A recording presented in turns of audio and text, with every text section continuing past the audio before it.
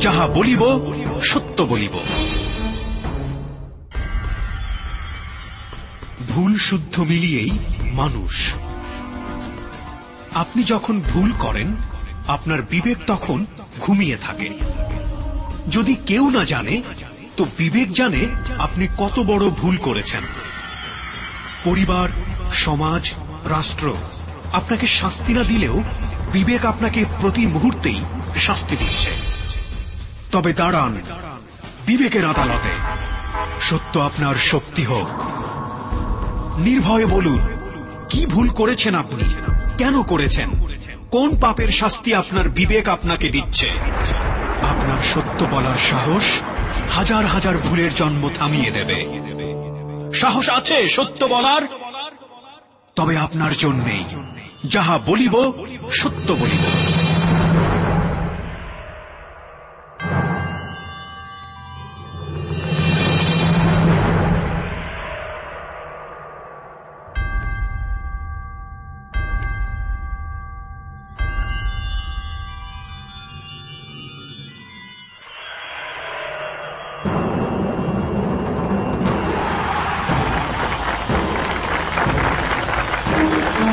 শ্রোতা, রবিবারের রাতে আপনাদের সবাইকে আমন্ত্রণ জানাচ্ছি যাহা বলিব, সত্য বলিবতে শুরু হয়ে গেছে বাংলাদেশের রেডিওর ইতিহাসে সবচাইতে চ্যালেঞ্জিং রিয়েলিটি শো, যাহা বলিব, সত্য বলিব। যাহা বলিব, সত্য বলিবর মঞ্চে আজকে কে রয়েছেন মঞ্চ আলোকিত করে, সেটা আমরা জানব।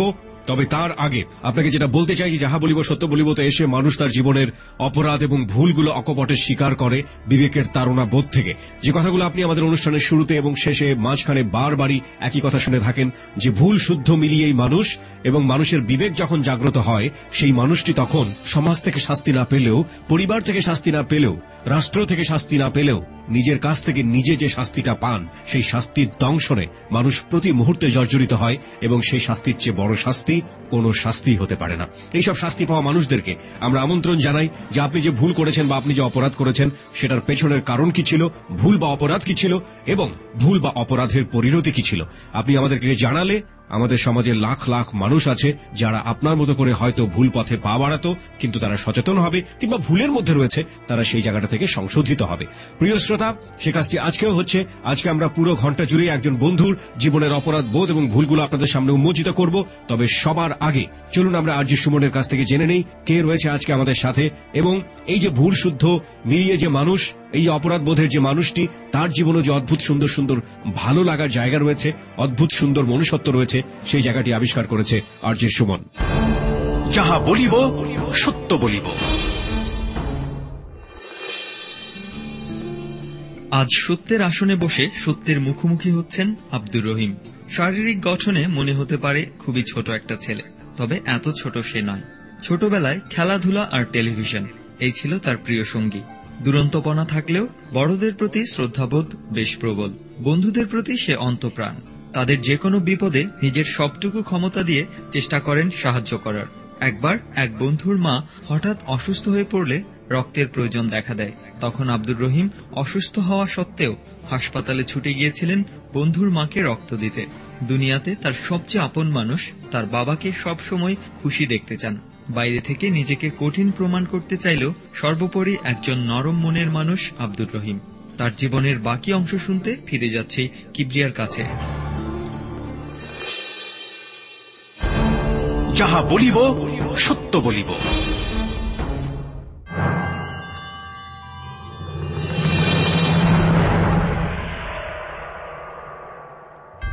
অনেক অনেক ধন্যবাদ, সুমন, আমাদেরকে জানিয়ে দেওয়ার জন্য যে আজকে আব্দুর রহিম আমাদের সঙ্গে রয়েছেন। আব্দুর রহিমের কাছে আমি যেতে চাই, তবে তার আগে বলতে চাই, আব্দুর রহিমের মতো আপনিও যদি আপনার জীবনের ভুল এবং অপরাধগুলো নিয়ে আমাদের কাছে আসতে চান, যাহা বলিব সত্য বলিবর মঞ্চে বসে লাখো মানুষের কাছে স্বীকার করতে চান, তা আপনার নিজের নামই হোক কিংবা ছদ্মনামেই হোক, আপনি আসতে পারেন আমাদের এখানে এবং যোগাযোগ করার নিয়মটি হচ্ছে, প্রথমে লিখবেন A B C space J B S B space আপনার নাম, এরপর পাঠিয়ে দেবেন দুই দুই দুই এক নম্বরে। প্রিয় শ্রোতা, অনুষ্ঠান চলাকালীন সময়ে আমাদের একজন বিশেষজ্ঞ পুরো অনুষ্ঠান জুড়ে আমাদের সঙ্গে থাকেন, যিনি ফোনে আমাদেরকে শোনেন এবং শোনার পরে তিনি তার মূল্যবান মতামত প্রদান করে থাকেন। আজকে আব্দুর রহিমের জীবনের অপ্রিয় সত্যগুলো শুনছেন ঢাকা বিশ্ববিদ্যালয়ে শান্তি ও সংঘর্ষ অধ্যয়ন বিভাগের শিক্ষক অনুরাগ চাকমা। এক্সপার্ট প্যানেল থেকে আপনি আমাদের সঙ্গে যোগ দিয়েছেন, সেজন্য আপনাকে প্রথমেই আন্তরিকভাবে ধন্যবাদ জানাই। অনুরাগ চাকমা, আমাকে কি শুনতে পাচ্ছেন? জি অনেক অনেক ধন্যবাদ। আমরা আশা করছি আপনি আমাদের সঙ্গে থাকবেন এবং শেষে আব্দুর রহিমের জীবনের অপ্রিয় সত্যগুলো জানার পরে আপনার মূল্যবান মতামত প্রদান করবেন। ওকে আমরা আব্দুর রহিমের কাছে যেতে পারি তবে যাবার আগে আরও একটু বলতে চাই যে আজকে পুরো অনুষ্ঠান জুড়েই এস এম এস পোল খুবই গুরুত্বপূর্ণ একটি ভূমিকা রাখবে। S M S poll call করবার সঙ্গে সঙ্গে আপনি আপনার বিশ্বাসযোগ্যতার জায়গাটি জানিয়ে দেবেন ইয়েস এবং নো বলে। প্রিয় শ্রোতা, যারা অনুষ্ঠানটি শোনেন, তাদের প্রত্যেককে আমরা রিকোয়েস্ট করছি ইয়েস এবং নো বলে অনুষ্ঠানের আপনার জায়গাটি বা আপনার অংশগ্রহণের জায়গাটি নিশ্চিত করতে। আমরা চলে যাচ্ছি এবার আব্দুর রহিমের কাছে। আব্দুর রহিম, প্রথমেই আমি যে প্রশ্নটি সবাইকে করি, আপনাকেও করছি।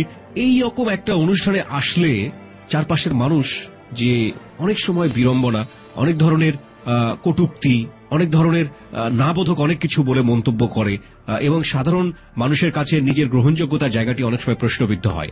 এটা জানার পরেও আপনি এরকম একটি অনুষ্ঠান, এরকম একটি চ্যালেঞ্জিং রেডিও শোতে কেন আসলেন? ভাই আমি এখানে আসছি, আমি যে ভুল করছি, আমার বিবেক আমাকে বাধা দিচ্ছে, সবসময় আমাকে ধিক্কা দিচ্ছে।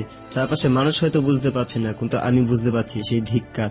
আমি আসছি এই কারণে যেন আমার কথা শুনে এই সমাজে কিছু লোক সতর্ক হয়ে যায়। আমরা যে সিটারিজটা করছি এই সিটারির মুখে যেন তারা আর না পড়ে তারা যেন সতর্ক হয়ে যায় কখনো যেন এগুলো প্রশ্রয় না দেয়। আমি ভাইয়া এই জন্যই আসছি। আপনি বলবেন যে আপনি যে চিটারি কথাটা বলছেন আপনি লাস্ট কবে এটা করেছেন? ভাইয়া আমি লাস্ট এইটা গত বুধবার করতে চাইছি কিন্তু এটা হয় নাই। আমাদের হাত থেকে ফসকে গেছে আমি গত মঙ্গলবার করছি। তার মানে আপনি স্টিল এটার মধ্যে এখনও জড়িত আছেন। এখনও জড়িত আছি। জড়িত আছেন এবং আপনার বিবেক প্রতি মুহূর্তে আপনাকে দংশিত করছে। দংশিত করছে। আপনি এখান থেকে বের হতে পারছেন না নাকি বের হচ্ছেন না? ভাই আমি এখান থেকে বের হতে চাচ্ছি কিন্তু আমি সামাজিক একটা পরিস্থিতির কারণে আমি কিছু টাকা ঋণ আছি আর সেই সুদ টাকা দিতে গিয়ে এই ঋণের কারণে আমি ওই সুদ হাত থেকে মুক্তি পাচ্ছি না তার জন্য আমি পরিস্থিতির শিকার হই এটা এখনও নিয়মিত চালিয়ে যাচ্ছি।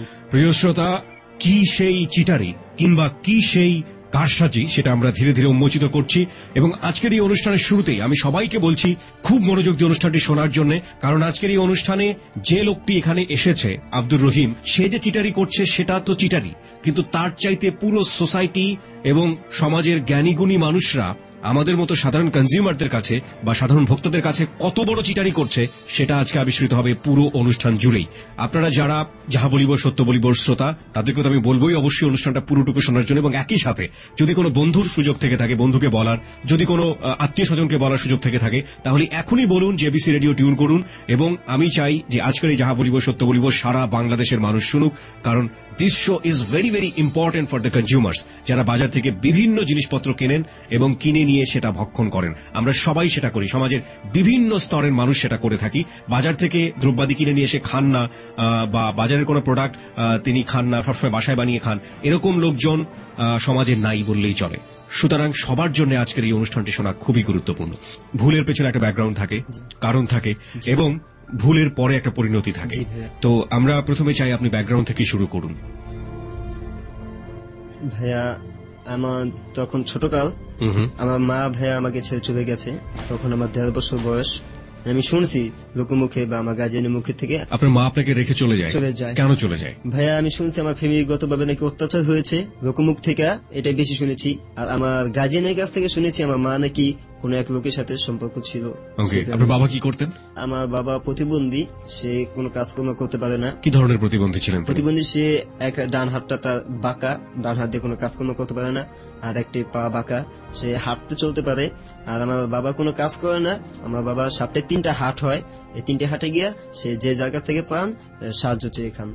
আপনার বাবা এই সাহায্য দিয়ে সংসার চালাতো? জি ভাইয়া। ওকে তারপর? তারপর ভাইয়া আমার মা চলে যাওয়ার পর আমি আমাকে আমার দাদি রেড়ে পরে বড় করে লালন পালন করে আমার চাচিরা তা খুব করে আমার ছোট চাচুর তুলনা নেই আমার ছোট চাচু খুব আদর যত্ন করে। আমি একটু আপনাকে থামাচ্ছি।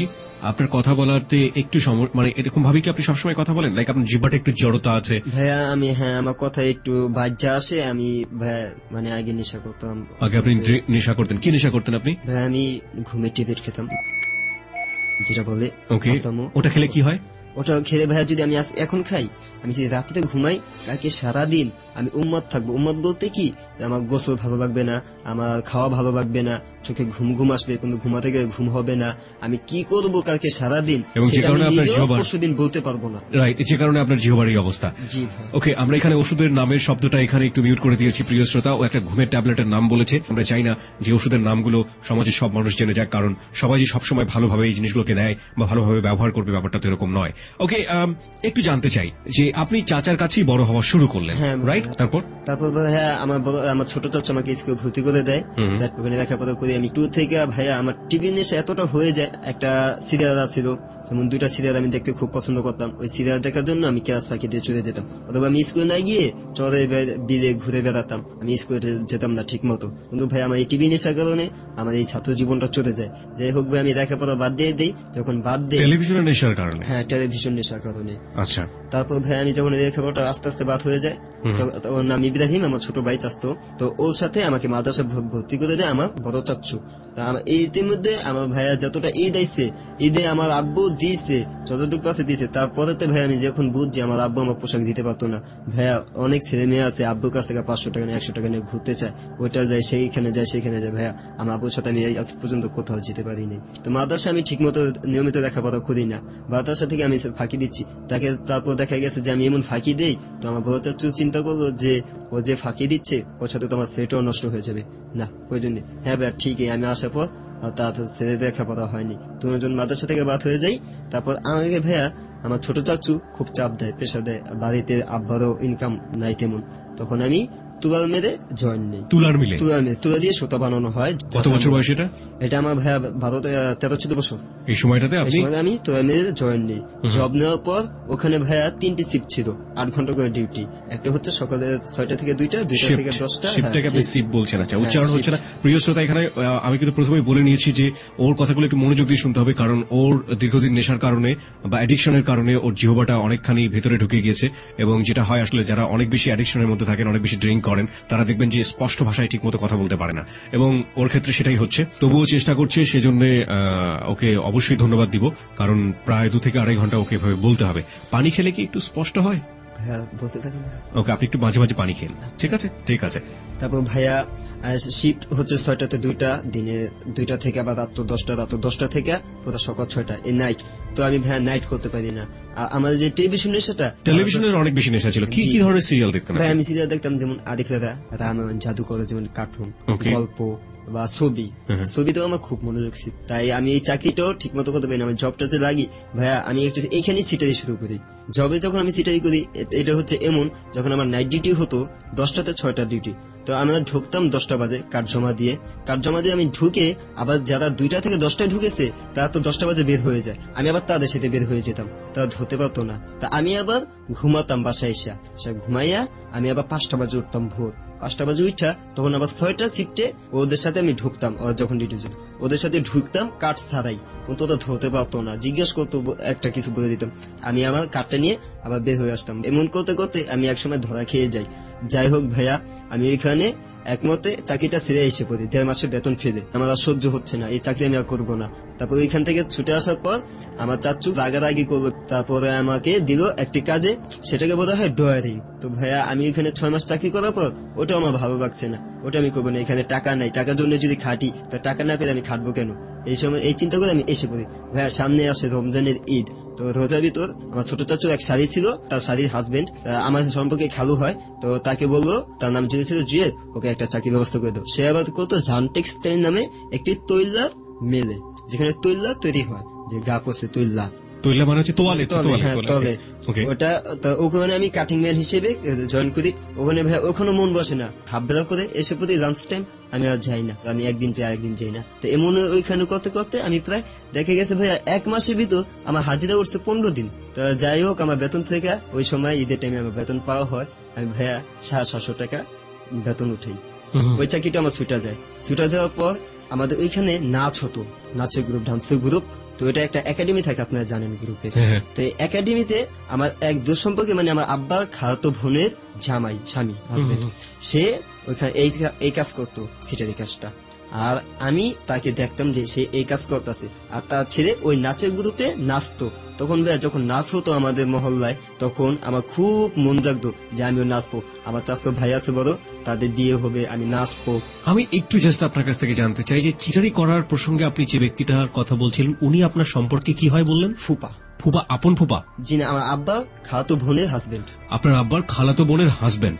উনি কোন একটা চিটারি কাজ করতো হ্যাঁ। যেটা আপনি ওখানে গিয়ে বুঝতে পেরেছেন। কিন্তু ডান্স গ্রুপে আপনার যাওয়ার উদ্দেশ্য ছিল যে মূলত আপনি আপনার কোন এক আত্মীয়ের বিয়েতে নাচতে চান। হ্যাঁ। ছোটবেলাতে যেটা হয় অনেক ধরনের আগ্রহ যেটা থাকে আর কি। ওকে তারপর? ভাইয়া তো আমাদের এই আগ্রহটা জায়গা পর দেখা গেছে নাচের গ্রুপে যেতে হলে ভাইয়া ভালো পোশাক লাগে বা ভর্তি ফিস লাগে। ভর্তি ফিস আড়াইশো টাকা মাসিক বেতন দিতে হয় দেড়শো টাকা। তো আমার কাছে ওই টাকাটা নেই যেহেতু আমি কর্মজীবী না। আচ্ছা শাসনের জায়গাতে যদি আসি ছেলেমেয়েরা বড় হলে এক ধরনের শাসনের দরকার হয়। আদর না হয় আপনি চাচুদের কাছ থেকে পাচ্ছেন।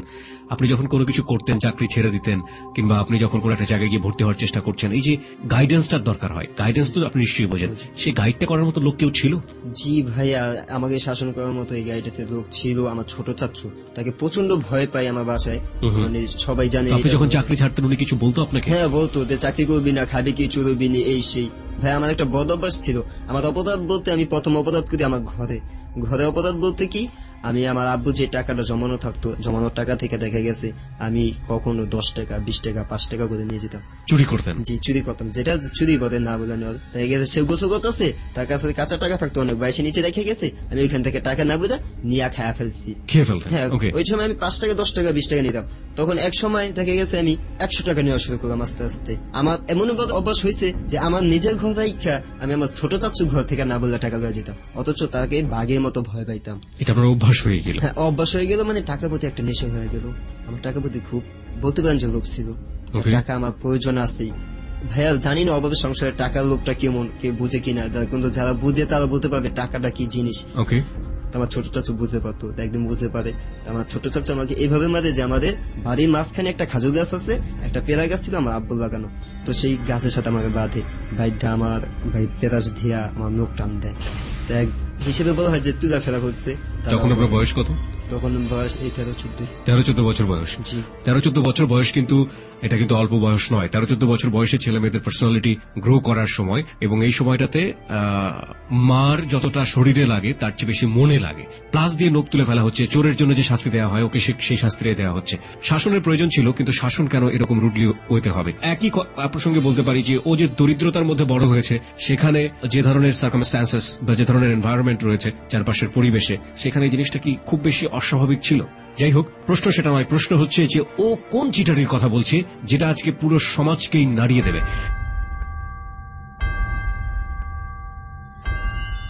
প্রিয় শ্রোতা, আমরা এই জায়গাটিতে ছোট্ট একটা বিরতি নিতে চাই।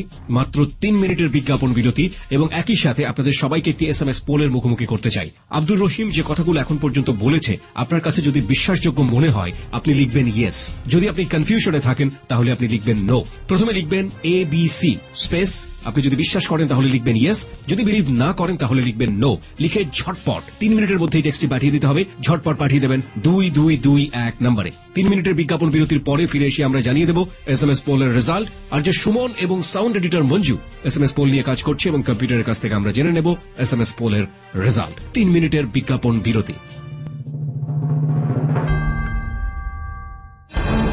যাহা বলিব, সত্য বলিব। যাহা বলিব, সত্য বলিব।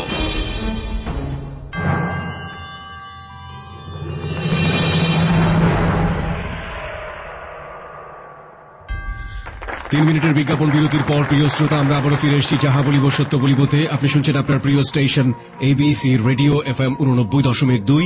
যাহা বলিব সত্য বলিব এক্সপার্ট প্যানেল থেকে আজকে আমাদের সঙ্গে রয়েছেন ঢাকা বিশ্ববিদ্যালয়ের শান্তি ও সংঘর্ষ অধ্যয়ন বিভাগের শিক্ষক অনুরাগ চাকমা, যিনি আজকে পুরো অনুষ্ঠান জুড়ে আমাদের সঙ্গে রয়েছেন এবং পুরো অনুষ্ঠানটি শোনার পরে তিনি তার মূল্যবান মতামত প্রদান করবেন। এবং একই সাথে, প্রিয় শ্রোতা, আমরা একটু আপনাকে নোট করছি যে আজকের অনুষ্ঠানে আর যে সুমনের কাছ থেকে আপনি একটি বিশেষ প্যাকেজ শুনতে পাবেন, যে প্যাকেজটি আমাদের দৈনন্দিন জীবনে, আমাদের অ্যাওয়ারনেসের জন্য, আমাদের সচেতনতার জন্য খুবই খুবই খুবই গুরুত্বপূর্ণ। আমরা আব্দুর রহিমের কাছে ফিরতে চাই, তবে তার আগে আপনাকে বলতে চাই, আব্দুর রহিমের জায়গাটিতে যদি আপনি বসে আপনার জীবনের অপ্রিয় সত্যগুলো স্বীকার করতে চান, ভুলগুলো, অপরাধগুলো স্বীকার করে লাখো মানুষের উপকার করতে চান এবং যদি চান যে আপনার মতো ভুল এবং অপরাধ সমাজের আর অন্য কেউ না করুক তাহলে আপনি আসতে পারেন আমাদের যাহা বলিব সত্য বলিবতে।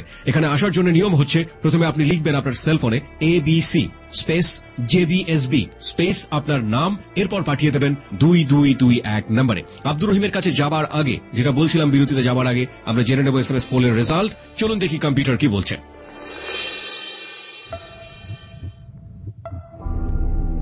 Yes, 91%. No, 7%. No comments. 2%.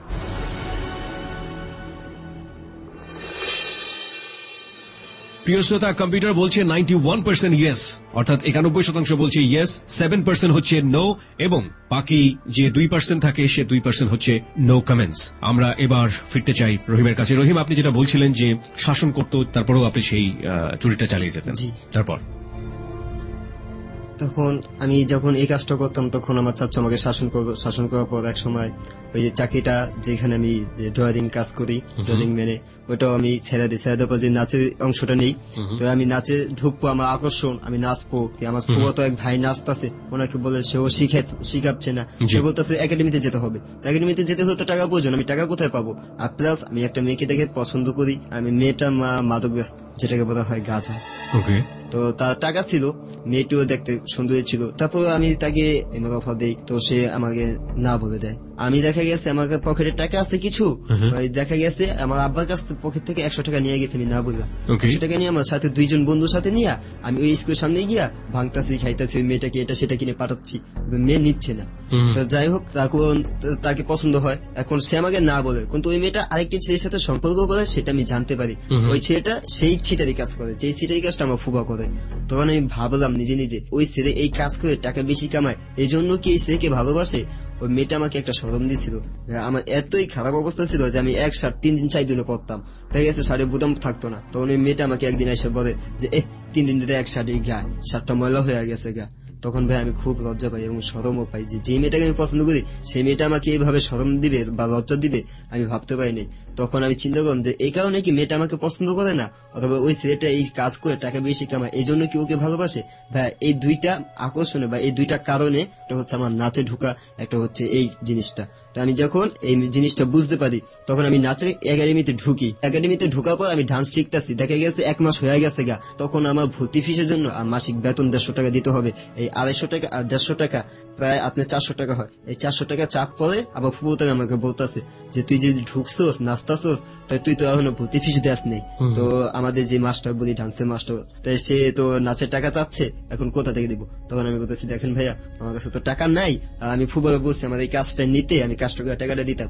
হ্যাঁ নিতে চাচ্ছে না আমার ছোট চাচু ভয়ে যে আমার ছোট চাচু তাদের ব্যাপারে তাদেরকে কিছু বলে। যাই হোক ভাইয়া এই টাকা চাপে আর এই মেয়েটার কারণে আমি এক সময় আমি এই কাজটাই প্রিয় শ্রোতা ব্যাকগ্রাউন্ডটা আমরা আবিষ্কার করে ফেলেছি। এই ব্যাকগ্রাউন্ডেও আমরা দেখেছি ওর জীবনের কিছু অপরাধ রয়েছে যে বাবার পকেট থেকে টাকা চুরি করা। এটা একটা অভ্যাসই হয়ে দাঁড়িয়েছিল। কিন্তু সেই টাকা চুরি করে এমন কোনো কাজ করতো না যে কাজটি ওর জন্য ক্ষতিকর হতে পারে। কিন্তু একটা মেয়েকে সে ওই অপরিণত বয়সে ভালো লেগে গেছে যে মেয়েটি তাকে একটু হলেও লজ্জা দিয়েছে। ওই মেয়েটার জায়গা থেকেও এটা স্বাভাবিক ছিল এবং ওর জায়গাটা থেকেও লজ্জা পাওয়াটা স্বাভাবিক ছিল। কিন্তু অর্থ জোগাড় করতে না পারাটা সেটা কি অস্বাভাবিক ছিল? প্রশ্ন থেকে যায়, কারণ তার পরিবার এই ধরনের কাজে তাকে অর্থ দেবে না। যেখানে পেটে ভাত পড়ার মতো অবস্থা নেই, সেখানে তাকে ডান্স শেখার জন্য তার পরিবার তাকে চারশো টাকা দেবে বা পাঁচশো টাকা দেবে। অচিন্তনীয় একটা ব্যাপার। কিন্তু তার মনের মধ্যে একটা অদ্ভুত রকমের শখ, সে ডান্স শিখতে চায়। ডান্স একাডেমিতে গিয়ে সে একজন মানুষকে খুঁজে পেয়েছে যে এক ধরনের অপরাধের সাথে জড়িত। কিন্তু সে ততক্ষণ পর্যন্ত অপরাধে জড়ায়নি, যতক্ষণ পর্যন্ত প্রয়োজন তার দরজায় এসে ঠক ঠক করে কড়া না নাড়ছে। একটা কথা আছে নেসেসিটি নোজ নো ল প্রয়োজন কোনো আইন মানে না। একজন কিশোর, তেরো থেকে চোদ্দ বছরের কিশোর, তার জীবনে যে দুটো প্রয়োজন দেখা দিয়েছে, দুটোই হচ্ছে শখ এবং প্রেস্টিজের প্রয়োজন। এই সময়টাতে এই ধরনের কিশোররা, এই ধরনের প্রয়োজনে ভয়াবহ রকমের, দুর্ধর্ষ রকমের অপরাধের সাথে জড়িয়ে যায়। কিন্তু প্রশ্ন হচ্ছে যে আব্দুর রহিম কি ধরনের অপরাধের সাথে জড়িয়ে গেল? তারপর। তারপর ভাইয়া, যাই হোক, এখান থেকে চাপ টাকার জন্য, এখান থেকে এই মেয়েকে আমি চাই। তো মেয়েটা বারবার না বলছে, তারপর আমি শুনি না। তো যাই হোক মেয়েটাকে আমি পাই না। আমাকে দেখা দেখে ওই ছেলেটার সাথে ঘুরে। আর এখান থেকে আমার ডান্স ক্লাব থেকে দেখা গেছে একটা অনুষ্ঠান যেতে হইলে ভাইয়া আমি যে নাচবো কোথাও গিয়া আমার ভাইয়া ভালো প্যান্ট নাই ভালো শার্ট গেঞ্জি নেই যে আমি ওইটা পইরা আমার সাথে সঙ্গীরা আছে তাদের সাথে আমি কোথাও যাব। কি করব আমি? তারপর আমি এক সময় এই কাজে অনেক রিকোয়েস্ট করার পর সুহেল নামে একটা ছেলে ছিল সে ও আমাদের সাথে ডান্স করতো ও এই কাজ করতো। কি নাম তার? সুহেল। সুহেল হ্যাঁ. সোহেল। তো ওর সাথে অনেক রিকোয়েস্ট করার পর আলম নামে একজন যাকে আমি ওস্তাদ ভৌদি তো ওনার কাছে নিয়ে গেল। তো আমার যে ফুবা ও ওই আলমের সাথে কাজ করতো ডবল বাস হিসেবে দোকানদার হিসেবে। তো যাই হোক প্রথম দিন নিয়ে যায় নিয়ে যাওয়ার পর আলম তার সাথে নেয় না। আলমের ছোট ভাই সে ফোন দিত আমাকে। তখন গেলাম যাওয়ার পর সকাল ভাই আর ছয়টা বাজে। তো আলমের সাথে জাহাঙ্গীর নামে একটা পোলা কাজ করতো জাহাঙ্গীর ভাই। সে আমার চাচার সাথে রং মিস্ত্রি কাজ করছে আগে। তো সে আবার রং মিস্ত্রি কাজ ছেড়ে এই কাজে চলে গেছে। তখন সে যদি আমার চাচুর কাছে বলে দেয় ছোট চাচুর কাছে সে মারবে সে ভয়ে তাকেও জানিতে চাই না। যাই হোক আলম তার ছোট ভাইয়ের সাথে আমাকে কাজে পাঠিয়ে দেয়। কাজে পাঠানোর পর তার সাথে আমি যাই বড়পা। অবশ্য আপনার চীনের ভূতাগাঁও সৌরূপসী বড়পা। তো ভরপা যাই একটি গার্মেন্টস কর্মী আফা বসি তো এটা হচ্ছে আপনার লাঞ্চের টাইম হয়তো লাঞ্চের ছুটি হয়েছে সে খেতে যাবে বাসায়। তখন একটা লবণের প্যাকেট তারা একটা কাগজের ঠোঙ্গার ভিতর ঢুকায়। হাফ কেজি লবণের প্যাকেট কাগজের ঠোঙ্গার ভিতর ঢুকায় ঢুকানোর পর ওটাকে প্যাকেট করে। প্যাকেট করার পর আমার কোমরে দেওয়া হয়। তা আমি তখন পুরোপুরি বুঝি না, আমি ফার্স্ট টাইম ভাইয়া। আমি বুঝি না। আমার শিখা দেয় তুই গিয়ে এতটুকু বলবি যে এখানে আনন্দ সুইট মিষ্টি দোকানটা কোথায়? আর বলবি আমি এমন বিপদে পেয়ে এটা নিয়ে এসছি ভাই আমি পুরোপুরি মাথায় খেয়ালও করতে পারি না যেটা আমি কি বলব। আর এতটুকু এই কামটা যে এতটুকু কথা হবে তাও না। তখন যাই হোক ভাই আমি প্রথম ফার্স্ট টাইম যাই যাওয়ার পর বসি ওখানে হাফটা সিমেন্ট রাস্তা দিয়া। তখন হাইওয়ে রাস্তার পাশ দিয়ে এই গ্রামের কর্মী আফাটা যাচ্ছে। তার সাথে ছিল ভাই ওই যে নোকিয়া ষোলোশো মডেলের একটা সেট ছিল কালো। ওই সেটটা ছিল আর তার সাথে পাঁচশো টাকা ছিল। তো ভাই, আমরা যাই। যাওয়ার পর তাকে দেখে আমাকে বলতেছে যে, যা, ওরে ধর। আমার সাথে লোকটা বলতেছে। তো আমি যাই, যাওয়ার পর গিয়ে বলি যে, আর সাথে সাথে পাশে পাশে হাঁটি। হাঁটার পর বলি যে, আফা, এখানে আনন্দ সুইট মিষ্টি দোকানটা কোথায়? তো আফা বলল যে, আমি চিনি না। তখন বললাম যে, আফা, আমি একটা বিপদে পেয়ে আসছি। আমি ঢাকা সাবা নবীনগর এক মিষ্টির দোকানে আট মাস কাজ করি। তো ওইখানে আমার মালিককে বেতন দেয় না আমাকে। বেতন চেয়ে আমাকে মায়ের ধর করতো। তার জন্য আমি মালিককে না বললা, পাঁচ পাউন্ড মিষ্টি সেকেন্ড নিয়েছি অনেক টাকা দাম। তা এই কথা শোনার পর আমার সাথে যে লোকটি থাকে, আমাদের গ্রুপের একজন আমার পাশ দিয়ে হাইটা যায়। একটু থামাচ্ছি আপনাকে। আপাকে আপনি বললেন যে, আপা, আমি একটা মিষ্টির দোকানে কাজ করতাম, সাভারের। সেখানে আপনি বাধ্য হয়েই কিছু স্যাকারিন চুরি করেছেন। সেটা পাঁচ পাউন্ড এবং আপাকে আপনি এটাও বললেন পাশাপাশি যে, এটার দাম অনেক। এবং আপনি বোধহয় একটা পরোক্ষভাবে তাকে একটা মেসেজ দিচ্ছেন যে আনন্দ সুইটস নামে একটা বেকারি বা কোনো একটা জায়গায় আপনি যেতে চান ওই বেকারিতে গিয়ে আপনি এটা বিক্রি করে দেবেন বা কিছু একটা এরকম। তাই তো? ওকে তারপর? ভাইয়া ওইটা কথা এই দোকানের নামটা বলা হলো যে তাকে থামাতে হবে। আমি যে কিছু খুঁজছি এটাকে তাকে বোঝাতে হবে। ওকে তা ওই সুতাই তাকে দাঁড়ালাম আমি সব কথা বললাম বলার পর আমার সাথে লোক আমার পাশে দিয়ে হাইটে আসতেছে। তা হাইটে আসতেছে তাদের তাদের শিখে না কথাটা। তো তখন আমি তাকে ডাক দিলাম আমার সাথে লোকটাকে তো ওটা ওই আফা বুঝতে পারল না যে আমাদের সাথে লোক তিনি। তাকে ডাক দিলাম যে ভাইয়া শুনেন যে এখানে আনন্দ সুইট মিষ্টি দোকানটা কোথায়? ভাইয়া সে বলল যাকে ডাক দিলেন সেও আপনাদের গ্রুপের লোক। হ্যাঁ গ্রুপের লোক। তাকে অপরিচিত ভাবে আমরা উপস্থাপন করলাম আফার সামনে। তারপর বললাম যে ভাই এখানে আনন্দ সুইট মিষ্টি দোকানটা কোথায়? তো সে বলল ভাইয়া এখানে তো আশেপাশে আনন্দ সুইট মিষ্টি দোকান নাই। তো তোমার ঠিকানা দেয়নি? আমি বলছি ভাই আমার ঠিকানা দিছি আমি ঠিকানাটা হারায় ফেলছি। তো বলতেছে যে তুমি ঠিকানা হারায় ফেলছো ঠিকানা ছাড়া তো খুঁজে পাইবা না। তো তুমি কি কারণে খুঁজতেছো? সমস্যাটা কি? তখন আমি তাদের আপাকে যে কথা বলি আমি তাকে সেই কথাটাই রিপিট করে বলি। তো আমার ওই লোকটা তো আর জানেই তারপর আমি তাকে রিপিট করে বলি আফার সামনে জেনে আফায় বুঝতে পারে এই লোকটা আমার সাথে না। সেও Okay. অপরিচিত। তারপরে যাই হোক তাকে বলার পর সে বলতাছে যে হেই মিয়া তুমি কি বলতাছো? না বললা না যে কথা চুরি করে অন্তত একই কথা। তুমি যে এমনি বলতাছো হাইটা হাইটা মানুষের শুনে তো তোমার মারবো। তুমি এমনি না বললা বলবা যে আমার নিজের মাল আমি বিক্রি করুম এই দোকানটা কই? তারপর আমার সাথে লোক আফারে বলতেছে যে, শুনছেন আফা? সেটা কি বলছে? এভাবে বলে সেটা বিপদে বলব না। তা না বলে যে কথা চুরি করে আনা একই কথা না আফা? তো সে বলল যে হ্যাঁ। তো যখন এই কথাটা বলল, তখন আমি বললাম যে, ভাইয়া আমি তো অনেক বিপদে পড়ছি, তো দেখেন আপনি উদ্যোগ করবেন। আচ্ছা তো- শোনো, তুমি যে না বলে আনছো তুমি কি আনছো আমাদের দেখাতে পারবা? তখন ভাই আমার শার্ট অথবা গায়ে গেঞ্জি আমি উঁচা করে আমার কোমরে যেই প্যাকেটটা থাকে, প্যাকেটটা তাকে দেখাই। দেখানোর পর সে বলল, ঢাকো ঢাকো মানুষ দেখে তোমাদের মারবো। এই কথা বলার পর সে বলতেছে, আফা, চিন্তা করছেন, কত টাকা মাল নিয়েছে আচ্ছা ভাই, এখানে কয় কেজি? আমি বললাম যে, ভাইয়া, এটা কেজি হিসেবে না, এটা পাউন্ড হিসেবে বিক্রি করা হয়। তো এখানে কয় পাউন্ড আছে? আমার সাথে লোক জিজ্ঞাসা করতেছে। তো আমি বললাম এখানে পাঁচ পাউন্ড আছে। ভাই আমি দুইজনের কথা রিপিট করতেছি। ওকে যে এখানে পাঁচ পাউন্ড আছে। তো ও পাঁচ পাউন্ড আছে? ঠিক আছে। কত টাকা পাউন্ড তখন আমি বললাম যে ভাইয়া ওইটা তখন আট হাজার দুশো টাকা পাউন্ড আমরা দাম উঠাতাম। এখন দাম বাড়াইছি। আগে এটা প্রায় আপনার পাঁচ বছর আগের ঘটনা। ঠিক আছে? তো বললাম আট হাজার দুশো টাকা পাউন্ড এক্স্যাক্টলি দ্য স্যাকারিনের পাউন্ড যেটা আপনি বলছেন স্যাকারিনের পাউন্ড বাজারে অত টাকা দাম না। জি না। এবং স্যাকারিনটা সম্পর্কে আপনি যে আপনার যে ক্লায়েন্ট মানে যে মেয়েটাকে আপনি হাত করার চেষ্টা করছেন যার কাছ থেকে আপনারা ঠকবাজিটা করবেন সে নিজেও জানে না ব্যাপারটা নিয়ে। কিন্তু তার সামনে আপনারা স্যাকারিনটাকে এমন ভাবে উপস্থাপন করছেন যেটা একটা মহামূল্যবান মহামূল্যবান জিনিস। দামি জিনিস। ওকে। তখন তাকে বললাম যে এটা আট হাজার দুশো টাকা পাউন্ড। তো সে বলল এক পাউন্ড যদি আট হাজার দুশো টাকা হয় তো পাঁচ পাউন্ডের দাম কত টাকা আসে আফা একটু চিন্তা করেন তো। তো তখন হিসাব করে থাকে যে পাঁচ হাজার চল্লিশ হাজার টাকা আর দুইশো টাকা করে এক হাজার টাকা। একচল্লিশ হাজার টাকা এই পাঁচ পাউন্ড মিষ্টি থেকে দিতাম তাকে বলে আমরা মাল। তো এই মালের দাম, পাঁচ মালের দাম যদি একচল্লিশ হাজার টাকা হয়, তো আফা এত টাকা মাল আছে বিপদে যাব না? মনে রাখো, আপনি কি তো করেন না আমিও কারও কাছে বলব না। তখন বলো আচ্ছা শুনো ভাই তুমি যে একচল্লিশ হাজার টাকা মাল নিয়ে রাস্তাঘাটে এমনি হাঁটতাছো আর বলতাছো, এমন কারোর কাছে বলছো? তখন আমি বললাম যে, না ভাইয়া আপনাদের বড় বোনের মতো বিশ্বাস করে বলছি আপনাদের বড় ভাইয়ের মতো বিশ্বাস করে বলছি। এই কথাটা কারও কাছে বলিনি। আমার সাথে লোক বলতেছে যে, শোনো ভাইয়া এইভাবে আর কারও কাছে না বললা, তোমার দেশে বেড়ে গিয়ে বিক্রি করবা। কি গিয়ে এখানকার সব লোক এক সমান না। আজকে আপায় ভালো দেখা, আমি ভালো দেখা তোমাদের ভালো বুদ্ধি দিয়ে দিতেছি। অন্য কেউ তোমাদের দিব না, অন্য কেউ শুনে তোমার মায়েরা তোমার মা রাখা দিব। তখন আমি তাকে উত্তর দিই যে ভাইয়া, আমি যে আমার দেশে বেরিয়ে যাব, আমার কাছে তো গাড়ি ভাড়ার টাকা নেই। আর এটা আমার বিক্রি করা যেতে হবে, দেশে আমার মায়ের অসুখ বড় বোনের বিয়ে তা আমার মা চিকিৎসা করব, টাকা প্রয়োজন, তো আমার কাছে তো টাকা নেই। তখন সে বলল, ও, তোমার এটা বিক্রি করে যেতে হইব? এখন একা বিক্রি করতে ভয় পাই দেখে কি আমাদেরকে বলছো? জি ভাইয়া, এখন একা বিক্রি করতে ভয় পাই দেখে আপনাদেরকে বলছি।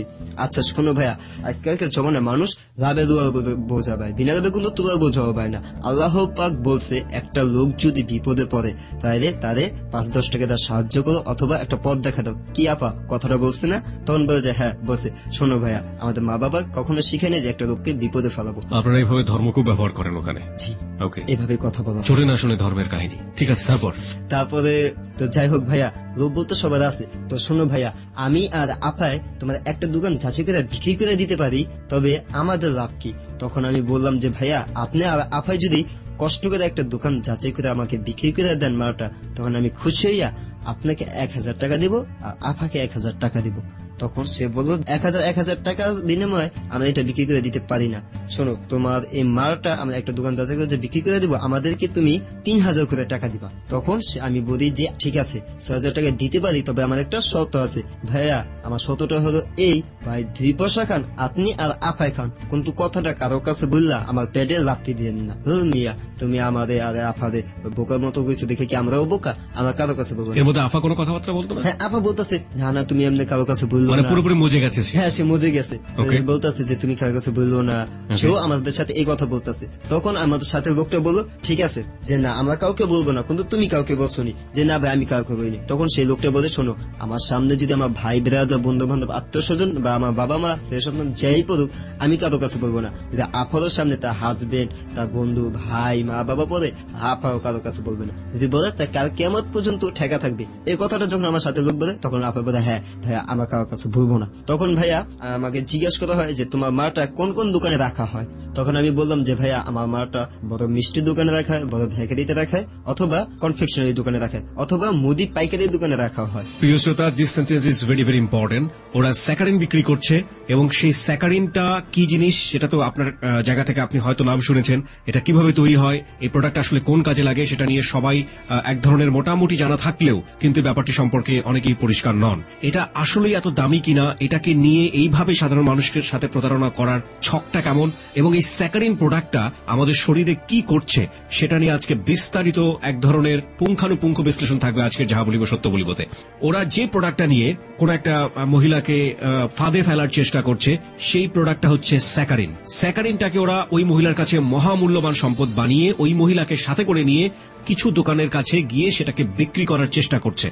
এবং বিক্রি করার দোকানগুলো এই জায়গাটাতে খুবই গুরুত্বপূর্ণ। একটা হচ্ছে বড় মিষ্টির দোকান, একটা হচ্ছে বেকারির দোকান, যেখানে বিভিন্ন ধরনের মিষ্টান্ন থেকে শুরু করে বিভিন্ন ধরনের খাদ্যদ্রব্য তৈরি করা হয়। একটা হচ্ছে বড় মুদির দোকান। ওকে তারপর কি করলেন আপনারা? তখন ভাই আমাকে জিজ্ঞেস করে তোমার এই সেকেন্ড দিয়ে কি কি তৈরি হয়? তখন আমি বললাম ভাই এই সেকেন্ড দিয়ে বড় মিষ্টি তৈরি হয় তারপর জন্মদিনে বড় কেক তৈরি হয় বিস্কিট তৈরি হয় রুটি তৈরি হয় আইসক্রিম তৈরি হয় ঠিক আছে? যখন এই কথাটি বললাম তো ঠিক আছে চলো একটা দোকান যাচ্ছে কিনা দেখি চলেন নাফা কি বলেন? তখন আপু আমাদের সাথে যায়। তখন আমরা যেখানে আপাকে বলি তার পাশে যদি কোনো দোকান থাকে তখন ওই যেমন মিষ্টি দোকান এমন কোনো একটা দোকান থাকলে তখন আমার সাথে লোক আমাকে জিজ্ঞেস করে প্রশ্ন করে আচ্ছা ভাইয়া দেখো তো এই দোকানটা রাখবে কিনা? আমি তখন বলি যে হ্যাঁ ভাইয়া এই দোকানটা রাখবে। কীভাবে বুঝেন আপনি ওই দোকানটাতে রাখবে? ভাইয়া ওই দোকানটাতে রাখবে এই কথাটা আমি বলি এই কারণে যে ওই দোকানের যে দোকানদার সাজবে দোকানের লোক ওটাও হবে আমাদের লোক। আপনারা আগে ওখানে লোক সেট করে হ্যাঁ ওখানে আমাদের আগে লোক সেট হয়। কীভাবে? যখন ওই দোকানটা দেখায় তখন আমাদের সাথে আরেকজন থাকে আমরা তিনজন তো তা আর দুইজন এখানে ফেস হলাম আপার সামনে। তো আরেকজন লোক থাকে তো ও লোকটা দোকানের সামনে গিয়ে দাঁড়ায় অথবা পানি খাওয়া সুতা দিয়ে বা কিছু কিনা সুতা দিয়ে বা টাকা ভাঙানোর সুতা দিয়ে ওই দোকানের ভিতরে ঢুকে। তখন আমার সাথে লোক বলে যে শুনে না এত রেট টাকা মাল ডাইরেক্ট দোকানে নিয়ে যাওয়া সম্ভব দোকানে অনেক পদের কাস্টমার আছে নানা রকম কাস্টমার কার মনে কি আছে কওয়া যায় না। তো আপনি এই ছেলেকে নিয়ে এখানে দাঁড়ান আমি দোকানে গিয়ে জিজ্ঞেস করি যদি আপা কোনো পরিচিত দোকানের কথা বলতো কিবদা ভাই? তখন আমার সাথে লোকটা বলতো যে পরিচিত দোকানে যে নিবেন পরিচিত দোকানদারে তো দেখে জিগে আপনি এই মালটা কোথায় পাইছেন? তখন কি করবেন আগে একটা অপরিচিত দোকান যাচাই করি যদি হ্যাঁ দেয় তারপর না হয় পরিচিত দোকানে যান এই কথাটা বলে তাকে নেওয়া হয়। ওকে তারপর? যে তারপরে আমরা দোকানের সাইডে দাঁড়াই আমি আর আফাই তখন সে দোকানে যায় দোকানে ঢুকে ঢুকে সে পানি খায় হয়তো বা কিছু তার সাথে কথা বলে। তখন আমি আফাতে দেখে যে ওই দেখেন দোকানদারের সাথে মনে কথা বলছে। তখন সে এটা লক্ষ্য করে। লক্ষ্য করার পর সে আসে। আমার সাথে যে ছিল সে আসে। সে আইসা বলতেছে যে ছোট ভাই তোমার ভাগ্যটা খুবই ভালো। তোমার মাল রাখব তবে মালটা দেখাতে হবে। ঠিক আছে আমি দেখাবো। তখন সে আফাকে দেখিয়ে দোকানদারকে ডাকছে। মানে আফা আফাকে দেখানো লক্ষ্য এই কারণেই যে আফা যেন দেখে বুঝতে পারে যে এইটা যেহেতু দোকানের মধ্যে থেকে বা- বের হচ্ছে। তো এইটাই দোকানদার। ওই লোকটা আমার সাথে, লোকটা দোকানদারকে ডাক দিল, যে ভাই আসেন। তখন সেও দোকানে থেকে হাত বাড়াইলো, বাড়ায় আসলো। আসার পর সালাম আসসালাম আলাইকুম। ভাইয়া, যখন এই কথাটা বলা হয়, তখন আমার দোকানদার আসার আগে আমাকে বলে নেয় যে, শোনো ভাইয়া, তোমার যে বিক্রি করে দিতেছি, একটা শর্ত আছে। কি শর্ত ভাইয়া? শোনো, তুমি দোকানদারের সাথে কোনো কথা বলবা না। যা কথা বলা, আমি আর আফে বলব। প্রিয় শ্রোতা, আমরাও একটু কথা বলা থেকে বিরতি চাই। আমরা মাত্র কয়েক মিনিটের বিজ্ঞাপন বিরতি নিচ্ছি। ঠিক বারোটা ছয় মিনিটে আমরা আবারও ফিরে আসছি। যে কি প্রিয়া রয়েছে আপনার সঙ্গে এবং রয়েছে আমার টিম আর সুমন ও সাউন্ড এডিটর মঞ্জু। এবং সার্বিক সহযোগিতায় hello eight nine two zero team আপনারা নিশ্চয়ই জানেন আপনাদের প্রিয় অনুষ্ঠান hello eight nine two zero প্রচারিত হয় প্রতি বুধবার রাত এগারোটা বিশে। এবং এই অনুষ্ঠানটি, যাহা বলিব সত্য বলিব, অনুষ্ঠানটির পেছনে কাজ করে hello eight nine two zero team যাদের অনেক কন্ট্রিবিউশন রয়েছে এই অনুষ্ঠানটির পেছনে। আমরা বলে থাকি mother eight nine two zero and the baby of this mother programme is JBSB অর্থাৎ যাহা বলিব সত্য বলিব। আমরা ফিরে যেতে চাই আহ, রহিমের কাছে তবে তার আগে আপনাকে বলছি আপনি যদি আপনার জীবনের অপ্রিয় সত্যগুলো নিয়ে লাখো মানুষের মুখোমুখি হতে চান নিজের বিবেকের বোধ থেকে এবং আপনি যদি মনে করেন যে আপনার যে ভুল এবং অপরাধ সেটা আপনার মনুষ্য শক্তি বা আপনার মানবিকতা দ্বারা প্রশ্নবিদ্ধ তাহলে এই বিবেকের জায়গাটা থেকে আমরাও আপনাকে নক করতে চাই। যাহা বলিব সত্য বলিব সামনে অপেক্ষা করছে লাখো মানুষ এবং সত্যের আসনটি তৈরি আছে আপনার জন্য। আমরা উদাত্ত আহ্বান জানাচ্ছি, আপনি বলে লাখো মানুষকে সচেতন করুন, আপনার মতো করে যেন কেউ কখনো ভুল না করে, অপরাধ না করে, কারণ ভুল কিংবা অপরাধের রেজাল্ট কখনোই ভালো হতে পারে না। প্রিয় শ্রোতা, আমরা ফিরতে চাই আব্দুর রহিমের কাছে। তবে তার আগে বলতে চাই, আপনি যদি এখানে আসতে চান আপনার জীবনের ভুল এবং অপরাধগুলো নিয়ে, তাহলে নিয়মটি হচ্ছে, প্রথমে লিখবেন A B C space J B S B space আপনার নাম, এরপর পাঠিয়ে দেবেন দুই দুই দুই এক নম্বরে ওকে আব্দুর রহিম, আপনি যেটা বলছিলেন যে দোকানদার এসে আপনাদেরই এক লোক তার সঙ্গে কথা বলছিল। তারপর? সে বলল যে, ছোট ভাই, তোমার মা রাখবে, দেখতে হবে। তো আমি বললাম হ্যাঁ দেখব। যখন সে বলল যে, দোকানদারের সাথে আমরা কথা বলব, তুমি কথা বলতে পারবে না। তো আমি বললাম, ঠিক আছে ভাইয়া। তখন সে আমাকে, যখন দোকানদার আসবে, তখন আমাকে এই কথাটা বলে যে, তোমার মা রাখবে, দেখতে হবে। তুমি একটু সাইডে দাঁড়াও। তখন সে আমাকে এক পাশে পাঠিয়ে দেয়। এই সাইডে দাঁড়ানোর জন্য আর তাদের তিনজনের মধ্যে কি কথা হয় সেটা আমি সঠিক জানতে পারি না, শুনতেও পারি না। তারপরেও আমি কিছু শুনি। তো কথাটা এমন হয় যে, দোকানদার আসে, সে আমার সাথে যে লোকটা প্রথম আসছে, তাকে বলা হয় কারিবাজ।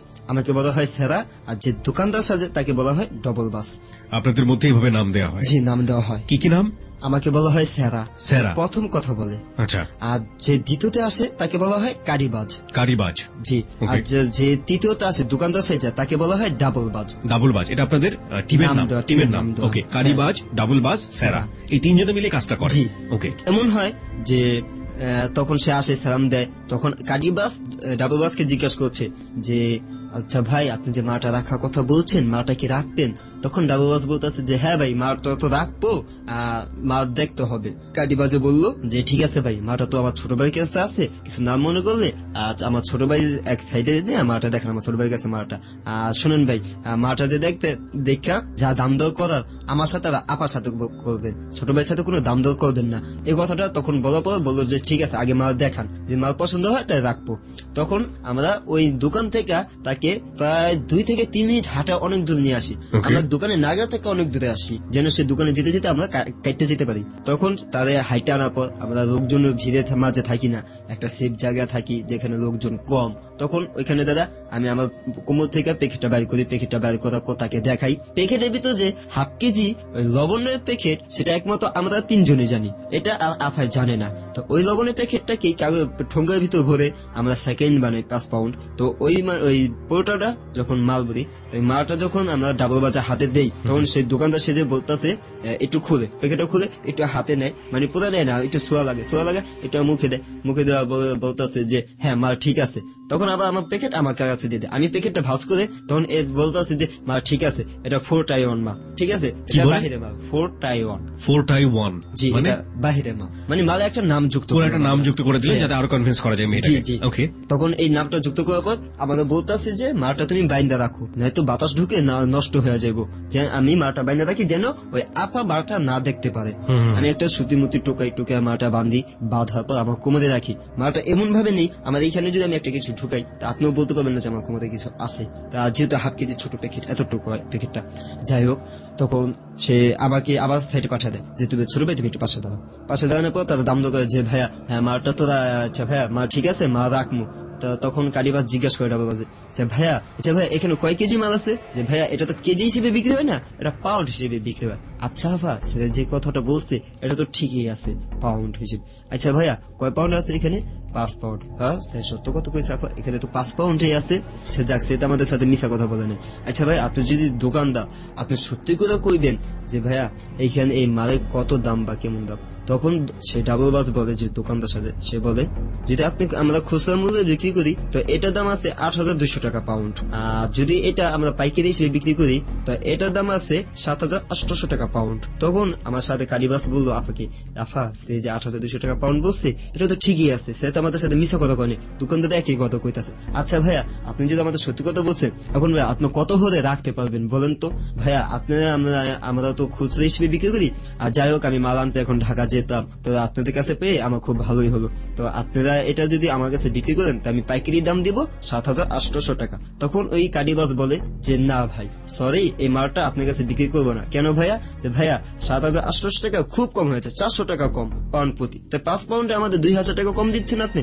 না ভাইয়া, এত কম টাকা আমরা মাল বিক্রি করব না। আমার, আমরা আরেকটা দোকান দেখি, যদি এই দাম কয়, তা আমরা আপনার কাছে মাল বিক্রি করব। এই কথা তারা একটু মানে দুই কেক হাটে, হাটের মধ্যে দোকানদার আবার ডাক দেয়। যে, শোনেন ভাইয়া আপনি যেহেতু ঠক হয়ে যায় ঠিক আছে, আমি ফিস্ট একটা দাম করে দিই। এই দামে যদি আপনি বিক্রি করেন ভাই, তা আমার কাছে বিক্রি করেন আচ্ছা ভাইয়া, বলেন কত করে থাকবে ভাইয়া, আপনি যদি বিক্রি করেন, তা আট হাজার টাকা পাউন্ডে বিক্রি করতে পারবেন। কেননা দুশো টাকা আমাদের লাভ করতে হবে। তখন সে বলে ঠিক আছে আট হাজার টাকা যদি পাউন্ড করে আফা। তো কত টাকা দাম আসে পাঁচ পাউন্ডের দাম আছে পাঁচ হাজার চল্লিশ হাজার টাকা। তো একচল্লিশ হাজার টাকা তারা চল্লিশ হাজার টাকা দাম দর করে। তো এইটা মানে মাঝে মধ্যে আফাদের ডাক দেওয়া মানে আফা যেন তার মনে থেকে নিজে কিছু না ভাবতে পারে। তার যদি সে ভাবে সেটা বিপদে পড়ল আবার এই লোক দুইটা আসলো ঘটনা কি? তখন তো আমাদের কাজটা হবে না। তার জন্য তাকে আমরা মনে মনে কিছু ভাবতে দিই না। তাকে আমাদের ভাইনের উপর রাখি কথার ভিতরে। তখন তাকে বলা হয় যে আচ্ছা ঠিক আছে চল্লিশ হাজার টাকা যদি দাম আসে তো শুনুন ভাইয়া, মাটা আপনাকে দিলাম। তবে এখানে একটা কথা আছে। কি কথা ভাইয়া? ভাইয়া, কথাটা এমন হলো আগে তিতা, পরে মিটা ভালো। আমরা কিন্তু এটা বাকি বিক্রি করতে পারব না। আচ্ছা ঠিক আছে ভাইয়া। মাটা আমার দোকানে আসেন, আমি আপনাদের নগদ ক্যাশ চল্লিশ হাজার টাকা দিয়ে দেবো। এই কথা বলে দোকানদার চলে যায়, আর যাওয়ার সময় এই কথাটা বলে যে, ভাইয়া প্লিজ মাটা অন্য কোনো দোকানে দিয়ে না, আমার দোকানে দিয়ে। তখন কাটিবাস বলে যে, ঠিক আছে ভাইয়া, মাটা আমি তোমার দোকানে দিব। তখন আমাকে সাইডে রেখে, অথবা আমাদের হাঁটতে করে আমি আগে আগে হাঁটি, আমরা ছোট ভাই, তুমি আগে হাঁটো। এই হাঁটতে হাঁটতে বা সাইডে দাদা কথা বলে কি, আমাকে সাইডে রেখে ওই কারিবাস আফায়। তো কারিবাস আফাকে বলতে আছে যে, আফা, শোনেন, দোকানদারে চল্লিশ হাজার টাকা দাম যে কইছে, এটা স্যার বলবেন না। স্যার বলবেন যে, ভাইয়া, তোমার মাল দোকানদারে দেখছে রাখব কইছে, কিন্তু এই মালটার দাম হয়েছে চার হাজার টাকা পাউন্ড। যে মাল দেখে দোকানদার বলছে, এটা চুরির মাল? চুরির মাল বলতে, হাফ দাম। তো চার হাজার টাকা পাউন্ড বলছে, তোমার এক পাউন্ডের দাম যদি চার হাজার টাকা হয়, পাঁচ পাউন্ডের দাম তোমার বিশ হাজার টাকা। আর বিশ হাজার টাকা অরে দিয়া বিশ হাজার টাকা আপনি আর আমি নিম আপনি দশ হাজার, আমি দশ হাজার। কিন্তু সেটা ভুলবেন না। তখন সে আপা বলল, ঠিক আছে, বলব না। আপনিও বলবেন না। তো বলার পর আসলো আমার কাছে।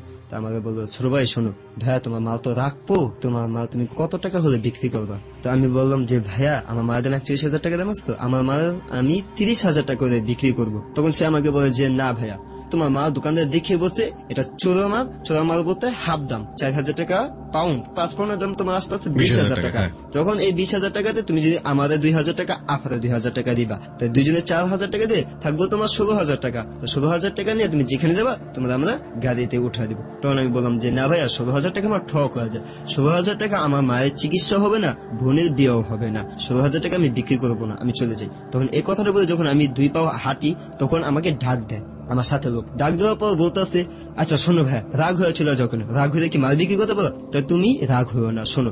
আচ্ছা তুমি যে দুই হাজার দুই হাজার টাকা দেওয়ার কথা বলছো আমার আফারে তোমার এই দুই দুই চার হাজার টাকা রাখব না। তোমার যদি আমার সম্পূর্ণ বিশ হাজার টাকা দেই, তুমি কি মালটা ব্যস্তা তখন আমি বললাম আচ্ছা ভাই, মাল কি আপনারা কিনবেন? সে বলল হ্যাঁ মনে করো যে আমরাই রাখব। তখন বললাম, শুনেন ভাই আপনারা যদি মালটা রাখেন, তো আমি মালটা বিক্রি করতে পারি, আমার একটা শর্ত আছে। শর্ত কেমন? আমি কিন্তু দোকানে যাব না। আপনারা যদি সম্পূর্ণ বিশ হাজার টাকা আমাদের এইখানে দ্বারা দেন, তো আমি মালটা বিক্রি করব। আমাদের এইখানে দ্বারা এক হাতে টাকা দিবেন, এক হাতে মাল নিবেন। দৌড় তুমি দোকানে যাইবা না? ঠিক আছে, তোমার দোকানে নেব না। কিন্তু তুমি যে দোকানে যাইবা না এখানে সম্পূর্ণ বিশ হাজার টাকা চাও। এই বিশ হাজার টাকা আমার কোথা থেকে দিব? আমরা তো গণক না। তোমার সাথে রাস্তাঘাটে দেখা হবে আর আমার সাথে নিয়ে এতটি টাকা নিয়ে বাইরে হইবো। দেখো, আমার পকেটে হয়তো দুই তিন হাজার টাকা আছে। এই যে দেখো, আমার কাছে দুই হাজার টাকা আছে। দুই হাজার টাকা কি তুমি মাল দিবা? না ভাই দুই হাজার টাকা তো আমার বিশ হাজার টাকা মাল দাম হবে না। আমি দুই হাজার টাকা মাল দিব না। তাছাড়া ভাই, আপনি দুই হাজার টাকা দেখছি। আফা তো কোনো টাকা দেখি নাই। তখন বলে যে, শোনো, আফা টাকা আমার টাকা একই কথা। আচ্ছা আফা, আপনার কাছে কোনো টাকা আছে? তখন আপার কাছে যদি থাকে, তো সে বলে, না থাকে বলে না যেমন আমাদের ওই দিনে আপার কাছে ছিল পাঁচশো টাকা, তখন সে বলল যে হ্যাঁ আমার কাছে পাঁচশো টাকা আছে। তখন সে বলে, এই যে দেখো, আপার কাছে আছে পাঁচশো টাকা, আমার কাছে আছে দুই হাজার টাকা। এই আড়াই হাজার টাকায় কি তুমি মাল দিবে? না ভাই, আড়াই হাজার টাকা তো আমার মাল দাম হবে না। তখন সে বলল, ভাইয়া, তোমার যদি এখানে বিশ হাজার টাকা দিয়ে, তুমি মাল দিবা? হ্যাঁ ভাই, আমাদের এখানে বিশ হাজার টাকা দিয়ে মাল দিব। ঠিক আছে, তুমি এক সাইডে দাও, আমি আবার সাথে দুটো কথা বলি। তখন আমাকে সে আবার সাইডে পাঠায় দেয়। আমি আবার একটু ফারাক হয়ে দাঁড়াই। দাঁড়ানোর পর সে আপাকে বলতেছে যে, আপা, শুনেন সেটা যেহেতু বিশ হাজার টাকা রাজি হয়েছে তো ওদের দোকানে নেওয়া যাব না। আর যদি দোকানে নেই আর যাই না যাব মারা মার আমরা চল্লিশ হাজার টাকা বিক্রি করছি। তো ওই দোকানে গিয়ে জিগে তো কত। তাদের ভালো হয়েছে আপনি কীভাবে জানলেন যে ও ওই কথাগুলোই বলছে? ভাইয়া এগুলো আমি কত করতে আমার অবশ্যই গেছে যে আমি জানতে পারছি যে এইভাবে এইভাবে কথাটা বলে। আমি স্যারা স্যারাটা মানে একটা বয়স থাকে নির্ধারিত। তার মানে কারিবাজ এবং ডাবল বাজ যে কাজগুলো করছে সেগুলো আপনি বুঝতে পারছেন কীভাবে তাহলে? সেগুলো মানে ভাইয়া এখানে বুঝতে পারতেছি কখন আমি কাজের বাজে পাশে দাঁড়াচ্ছি তখন আমি তার কথাটা শুনতেছি। অথবা দেখা গেছে আমার সামনে একজনের কাজ শিখাইতেছে তখন আমি বুঝতে পারলাম ওকে তার মানে আপনাদেরকে কাজ আলাদাভাবে শেখানো হতো। তখন আপনি জিনিসটা গ্র্যাপ করেছেন এবং আপনি আপনার জায়গা থেকে অনুমান করে জিনিসগুলো যেহেতু আমার ছেলে বয়স আপনি দেখতেই পাচ্ছেন। ঠিক আছে আমি আগে আর একটু সুন্দর ছিলাম স্বাস্থ্য ছিল। ছেড়া এই কারণে বলা হয় যে একটা ছোট ছেলে যদি বিপদে পড়তে হয় ওইটা একটা মহিলা বিশ্বাস করব। আর যদি একটা বড় ছেলে গিয়া বিপদে করা হবে সেটা তো বিশ্বাস করার কথা করবে না। আর দৈহিক ঘটনা একটা ফ্যাক্ট ওকে যাই হোক এখানে সে বলতেছে, শুনে, তা ছেলেটাকে আর জানালেন না? আর সে যদি জিজ্ঞেস করে, তো কইবেন, হয় এত টাকা বেচছে, আর আমি যাই দেখি দোকানদারতে যদি পাতি গিয়া দোকানদার কম যে, ভাই, আপনি আমাকে এখানে বিশ হাজার টাকা দেন আমার ছোট ভাই তো দেশে যাইবো তাদের বিশ হাজার টাকা দিয়ে দেশে বাড়ি পাঠাই দেশে বাড়ি পাঠানোর পর আমরা আপনার কাছে মালটা দিয়া বাদ বাকি বিশ হাজার টাকা নিয়ে যাম দিয়ে দোকানদার টাকাটা দেন। আর আপনি যদি ছেড়ে জিজ্ঞেস করে, তো আপনি বলবেন, বিশ হাজার টাকায় বিক্রি করছে, আর আপনি ছেড়ে জিজ্ঞেস করে দেখেন ছেড়ে আরও মাল আনতে পারব কি না? এই কথাটা বলে কালিবাস আফাদে। আফাদে আরেকটা কথা বলা যায় যে শোনেন আফা, আমি কিন্তু আপনি বিশ্বাস করছি ছেড়ে আপনাদের আগে কইছে, আমাদের পরে কইছে। আপনার অধিকার বেশি, আমার অধিকার কম। তো আমি আপনাদের বিশ্বাস করছি দেখেই আপনার সাথে নিয়ে আসছি। আবার আপনার কাছে যে আমি স্যালারি একা রেখা যেতেছি, আপনি পারলে আমার রেখে স্যালারি নিয়ে বাসায় চলে যাবেন না। তখন এই কথাটা বললা, সে দোকানে চলে যায়। আবার কোনো দোকানে যায় না, আমার লোক হয়তো রাস্তায় দাঁড়া থাকে দোকানের সামনে রাস্তা থেকে ফোন করে আনা হয়। যখন সে দোকানে যায় কাটিবাস, তখন আমি আরেকটা বাইন দিই। একটা বাইন হলো এই, কি ভাই? যে আমি আপার কাছে গিয়ে জিজ্ঞাসা করলাম যে আপা ভাইয়া কই গেল? সে বলল দোকানে গেছে টাকা আনতে। ও টাকা আনতে গেছে? আচ্ছা শুনেন আপা আমি আপনার বড় বোনের মতো বিশ্বাস করছি। আপনি আমার ছোট ভাইয়ের মতো বিশ্বাস করছেন। তো আপনি সত্যি করে বলবেন যে দোকানদারে কয় টাকা দাম বলছে? তখন আপা আমার বলল যে এটা বিশ হাজার টাকা দাম বলছে। সে আমার সাথে মিথ্যা কথা বলল টাকার লোভে তখন আমি বুঝতে পারলাম যে না এটা মাল খাইছে। মাল খাইছে মানে এটা ভয়নে পড়ছে। আচ্ছা আপা, আপনি যেহেতু ছোট ভাই হিসেবে আমার সত্য কথা বলছেন আমি আপনার বড় বোন হিসেবে আপনাদের একটা সত্য কথা কই। ঠিক আছে আফা শোনেন। ওই ভাই বেটা মানুষ। বেটা মানুষের মন কেমন বলা যায় না। তো ওই ভাইরে আমি বিশ্বাস করি না। আপনি বিশ্বাস করে কথাটা বলি, আপনি ওই ভাইরে বলবেন না। তখন আমি আফাদের বলি যে, আফা আমার কাছে আরও পাঁচ পাউন্ড মাল আছে। ওই পাঁচ পাউন্ড মাল আর আমার সাথে পাঁচ পাউন্ড মাল একই দাম একই মাল। তাকে আমি আবার লোভ দেখানো হয়েছে যে আমার সেই পাঁচ পাউন্ড আপনি বিক্রি করবেন বিক্রি করে দিয়া আপনি পাঁচ হাজার টাকা রেখা আমার পনেরো হাজার টাকা দিবেন। হ্যাঁ পাইতেছে পঁচিশ হাজার টাকা। হ্যাঁ বিশ হাজার টাকা মাল আছে আর পাঁচ হাজার টাকা আমি দিতেছি পঁচিশ হাজার টাকা। তো তার লোভে পদারই কথা। তখন যে এখন এই কথাটা বলো বলে হ্যাঁ ওই মালের কথা তুমি তাদের বলবা না। ওই সেরে গেলে গিয়া তোমার আমি এটা একা বিক্রি করে দিব আপনার তো প্রথম দিনের অপারেশনের কথা আপনি বলছেন। আপনার ভয় লাগছিল না ওই মুহূর্তে? ভাইয়া ওই মুহূর্তে ভয় কিছু নাই। কিন্তু ওই ওই সময় আমি কাজটা কি বা কাজের ভিতর গেলে কি হবে কিছুই বুঝতে পারছিলাম না ওকে তারপর? তখন এই কথাটা বলে তখন আবার সেই ক্যান্ডি বাস ডাবল বাসে নিয়ে আসে। আইসে বলে যে আপা চলেন দোকানদার টাকা আনছে। দোকানদার কয় ভাই আমার ছোট ভাইতে একটু সাইডে নিয়ে বিশটা হাজার টাকা গুন্ডা দেন। যখন এই কথাটা বলে তখন আমরা ওইখান থেকে আরও একটু দূরে নিয়ে যাই আমাদের একটা নির্ধারিত স্থান যেখান থেকে তার কিছু নিয়ে সে বলতে পারবে মানে লোকজন দেখবে না অথবা বলতে পারবে না।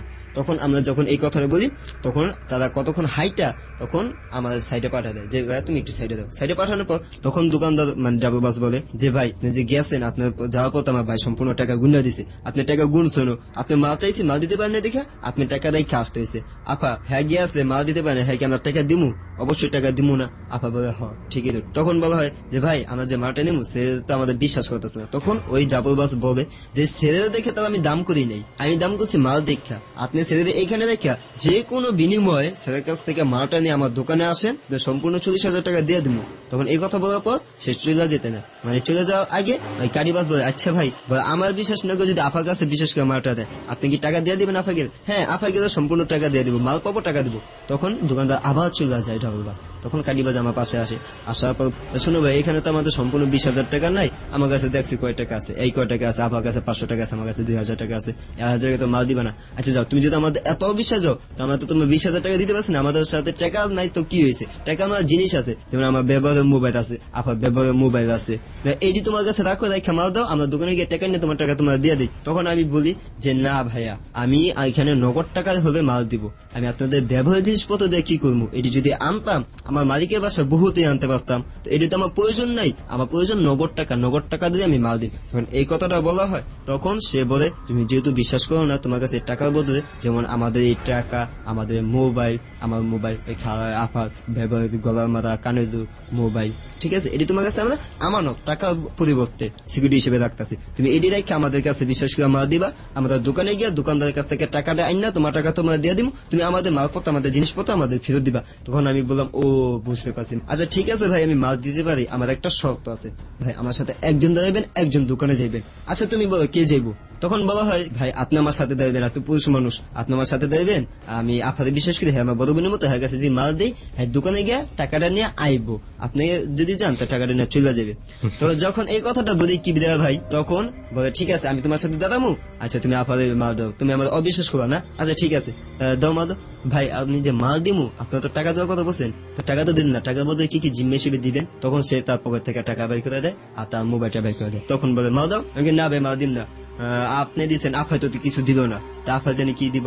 ও আফার টাকার কথা বলছি দেখে আফার টাকা দিতে? হ ভাই। আচ্ছা আফা দেন তো আপনার টাকা দেন। তখন আফা লোভে বোঝা তার টাকা নিজে স্ব ইচ্ছায় দিয়ে দেয় সজ্ঞানে তাকে আমার কিছু শুঙ্গাই না কিছু খাওয়াই না কিছু প্রথম অপারেশনে কি করেছিল আপনার? পাঁচশো টাকা দেয়। তারপর আর কি দেয়? পাঁচশো টাকা দেওয়ার পর মা চায় আমি মা মাল দিব না। তারপর বলে, কেন? আমি কি ওই যে তার আফা ব্যবহার মোবাইল না কি দিব বুঝছে? ও, ব্যবহার মোবাইল দিতে? আচ্ছা আফা মোবাইলটা দেন। কয়, না ব্যবহার মোবাইল দিম না। না, তাহলে ভাই, আমি মাল দিম না, আপনি আপনি লজের আমি জায়গা। এই কথা বলার পর সে বলতেছে যে আফা আফা আপনি মোবাইল কয়টা দাম আছে? স্যার, বিশ হাজার চল্লিশ হাজার টাকা আমার দাম। আপনার মোবাইল হাই গেলে দুই তিন হাজার টাকা থাকব। তখন সে বলল, না, আমার মোবাইল দিব না। আমি কই, না দিই আমি মাল দিম না। তখন সে তার মোবাইলটা হাই, নিজে ইচ্ছে দেয়। সে মালটা নিয়ে দোকানে যায় আর এখান থেকে আমরা গাইডটা যাই। আর আমাদের যে দোকানদার, সে আগে থাকতেই গাইডটা থাকে। নির্ধারিত স্থানে পৌঁছা থাকে। তখন সে এক- এক দিক দিয়ে দোকানে যায় আমরা এক দিক দিয়ে চলে আসি। তখন সে দোকানে গিয়ে দেখে যে দোকানদার অন্য, আর মিষ্টি সেখানে বোধহয় লবণ, আর স্থানে এসে আমাদের পায় না। তখন ভাইয়া হয়তো সে বেউস হয়ে যায়, নয়তো ভাইয়া সে কান্নাকাটি করে, পাগলের মতো হয়ে যায়। এমন অনেক শুনছি, অনেক কাজ করছি, তাদের নাকি অজ্ঞান হয়ে গেছে। আমরা নাকি তাকে অজ্ঞান করে নিয়ে গেছি। প্রিয় শ্রোতা, আমরা এই জায়গাটিতে আমরা একটু ফুল স্টপ দিতে চাই। প্রথম কথা হচ্ছে, পুরো অপারেশনটা আপনারা শুনলেন। এটা ওর জীবনের ফার্স্ট অপারেশন ছিল এবং সেটার পেছনের ব্যাকগ্রাউন্ডটা আমরা আবিষ্কার করেছি। গুরুত্বপূর্ণ এলিমেন্ট যেটা, যেটাকে কেন্দ্র করে এই কাজগুলো হচ্ছে, সেই পদার্থটির নাম হচ্ছে স্যাকারিন। স্যাকারিন নামটার সাথে আমরা পরিচিত, কিন্তু স্যাকারিন আসলে কি এবং স্যাকারিনটা আসলে কি কারণে এই স্যাকারিনটাকে নিয়ে এত টানা হ্যাচড়া চলছে, সেটা নিয়ে একটা বড় রকমের প্রশ্ন এতক্ষণ আমাদের সামনে চলে এসছে। স্যাকারিন মূলত একটা রাসায়নিক যৌগ, যেটা আসলে বেশ কিছু রাসায়নিকের কম্বিনেশনে তৈরি হয়। যেমন নাইট্রাস অ্যাসিড থাকে সেখানে সালফার ডিঅক্সাইড থাকে ক্লোরিন থাকে, অ্যামোনিয়া থাকে। মজার বিষয় হচ্ছে যে এই পদার্থটি চিনির অনুপাতের তুলনায় সাতশো গুণ বেশি মিষ্টি। আমি আবারও বলছি, এক ফোঁটা চিনি যতটুকু মিষ্টি, এক ফোঁটা স্যাকারিন তার তুলনায় সাতশো গুণ, একশো, দুশো গুণ না কিন্তু সাতশো গুণ বেশি মিষ্টি। এবং এটা নিয়ে ল্যাব টেস্ট করা হয়েছিল ইঁদুরের ওপরে, এবং ল্যাব টেস্ট করার পরের রেজাল্টটা হচ্ছে ইঁদুরের ব্লাডার ক্যান্সার হয়। যারা সাপোর্টার স্যাকারিনের, তারা বলছে যে স্যাকারিন নিজে কোনো ক্যান্সারের জন্ম দেয় না। স্যাকারিনের সাথে অন্যান্য যৌগ শরীরে মিশ্রিত হয়ে সাধারণত ক্যান্সার হয় এবং সেই যৌগটি শুধুমাত্র ইঁদুরের মধ্যে আছে, মানুষের মধ্যে এটা নেই, সুতরাং মানুষের ক্যান্সার হওয়ার কোনো পসিবিলিটি নেই। এটা নিয়ে লম্বা সময় ধরে ডিবেট চলেছে, লম্বা সময় ধরে আলোচনা, সমালোচনা চলেছে সায়েন্টিস্টরা এটা কখনো পক্ষে বলেছে, কখনো বিপক্ষে বলেছে, এবং মোটামুটি সবাই একটা জিনিসে এসে থিতু হয়েছে, সেটা হচ্ছে স্যাকারিন তাৎক্ষণিকভাবে যে জিনিসগুলো তৈরি করে, সেটা হচ্ছে মাথা ব্যথা, নিঃশ্বাসের সমস্যা, এবং স্কিন এক ধরনের অ্যাশ তৈরি হয়, এছাড়া ডায়রিয়া হয়ে থাকে। এবং স্যাকারিন যে কাজটা করে, সেটা হলো আপনাকে ক্যান্সার তৈরিতে সহায়তা করে। স্যাকারিনের যে মারাত্মক ব্যবহার আমাদের দেশ সহ উন্নত বিশ্বে বিভিন্নভাবে হচ্ছে, সেটা বলারই অপেক্ষা রাখে না। কারণ স্যাকারিনকে এখানে সাজানো হয়েছে আট হাজার কিংবা সাত হাজার টাকা পাউন্ড। আসলে স্যাকারিন অতটা দামের না। আমরা বাজার ঘুরে সরজমিনে যেটা জেনেছি, স্যাকারিন বিক্রি হয় আটশো থেকে এক হাজার টাকা কেজিতে।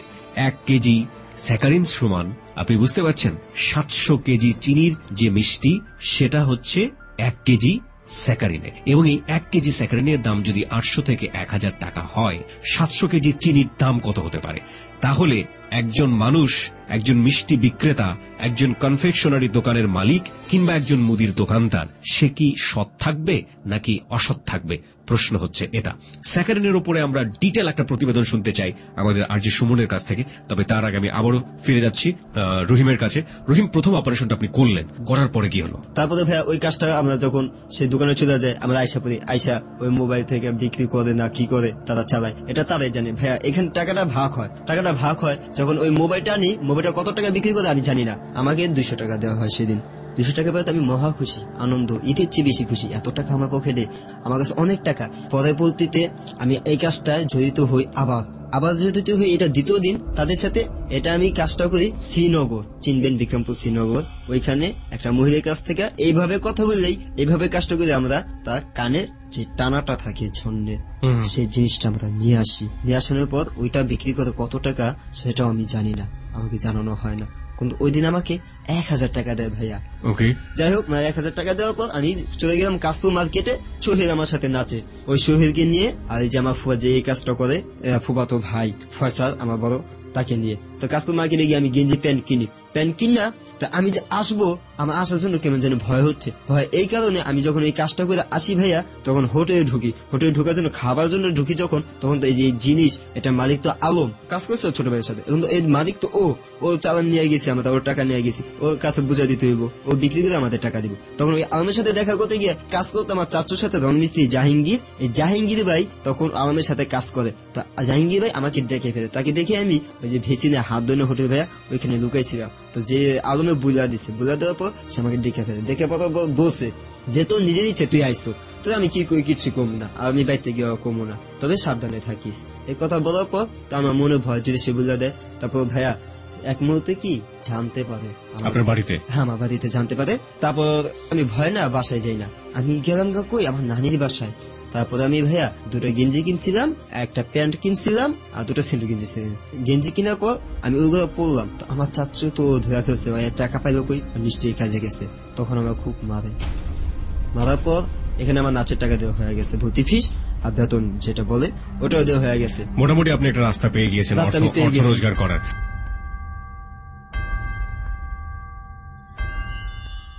প্রিয় শ্রোতা, আমরা চার মিনিটের একটা বিজ্ঞাপন বিরতি নিতে চাই। যে বিষয়টিকে ঘিরে আজকে আমাদের এই যাহা বলিব, সত্য বলিব, এখানে হিরো হচ্ছে স্যাকারিন। এবং স্যাকারিনের আদ্যপান্ত নিয়ে আমরা একটি রিপোর্ট শুনব সুমনের কাছ থেকে। প্রায় সপ্তাহখানেক ধরে আমরা এই গল্পটা নিয়ে স্টাডি করেছি এবং স্টাডি করে আমাদের যে বাজার, সেই বাজার থেকে শুরু করে আমরা বিভিন্ন জায়গায় সবার সাথে কথা বলেছি এবং কথা বলার পরে আমরা এই প্রতিবেদনটি উপস্থাপন করছি। যে জিনিসটি আমাদের শরীরে জ্ঞানত, আমাদের অজ্ঞানত প্রতিনিয়ত মিশে যাচ্ছে সেই জিনিসটি আমাদের নীরবে নিভৃতে কতটা ক্ষতি করছে এবং কত ভয়াবহ রোগের মুখে আমাদেরকে ঠেলে দিচ্ছে, সবকিছুই আমরা জানব।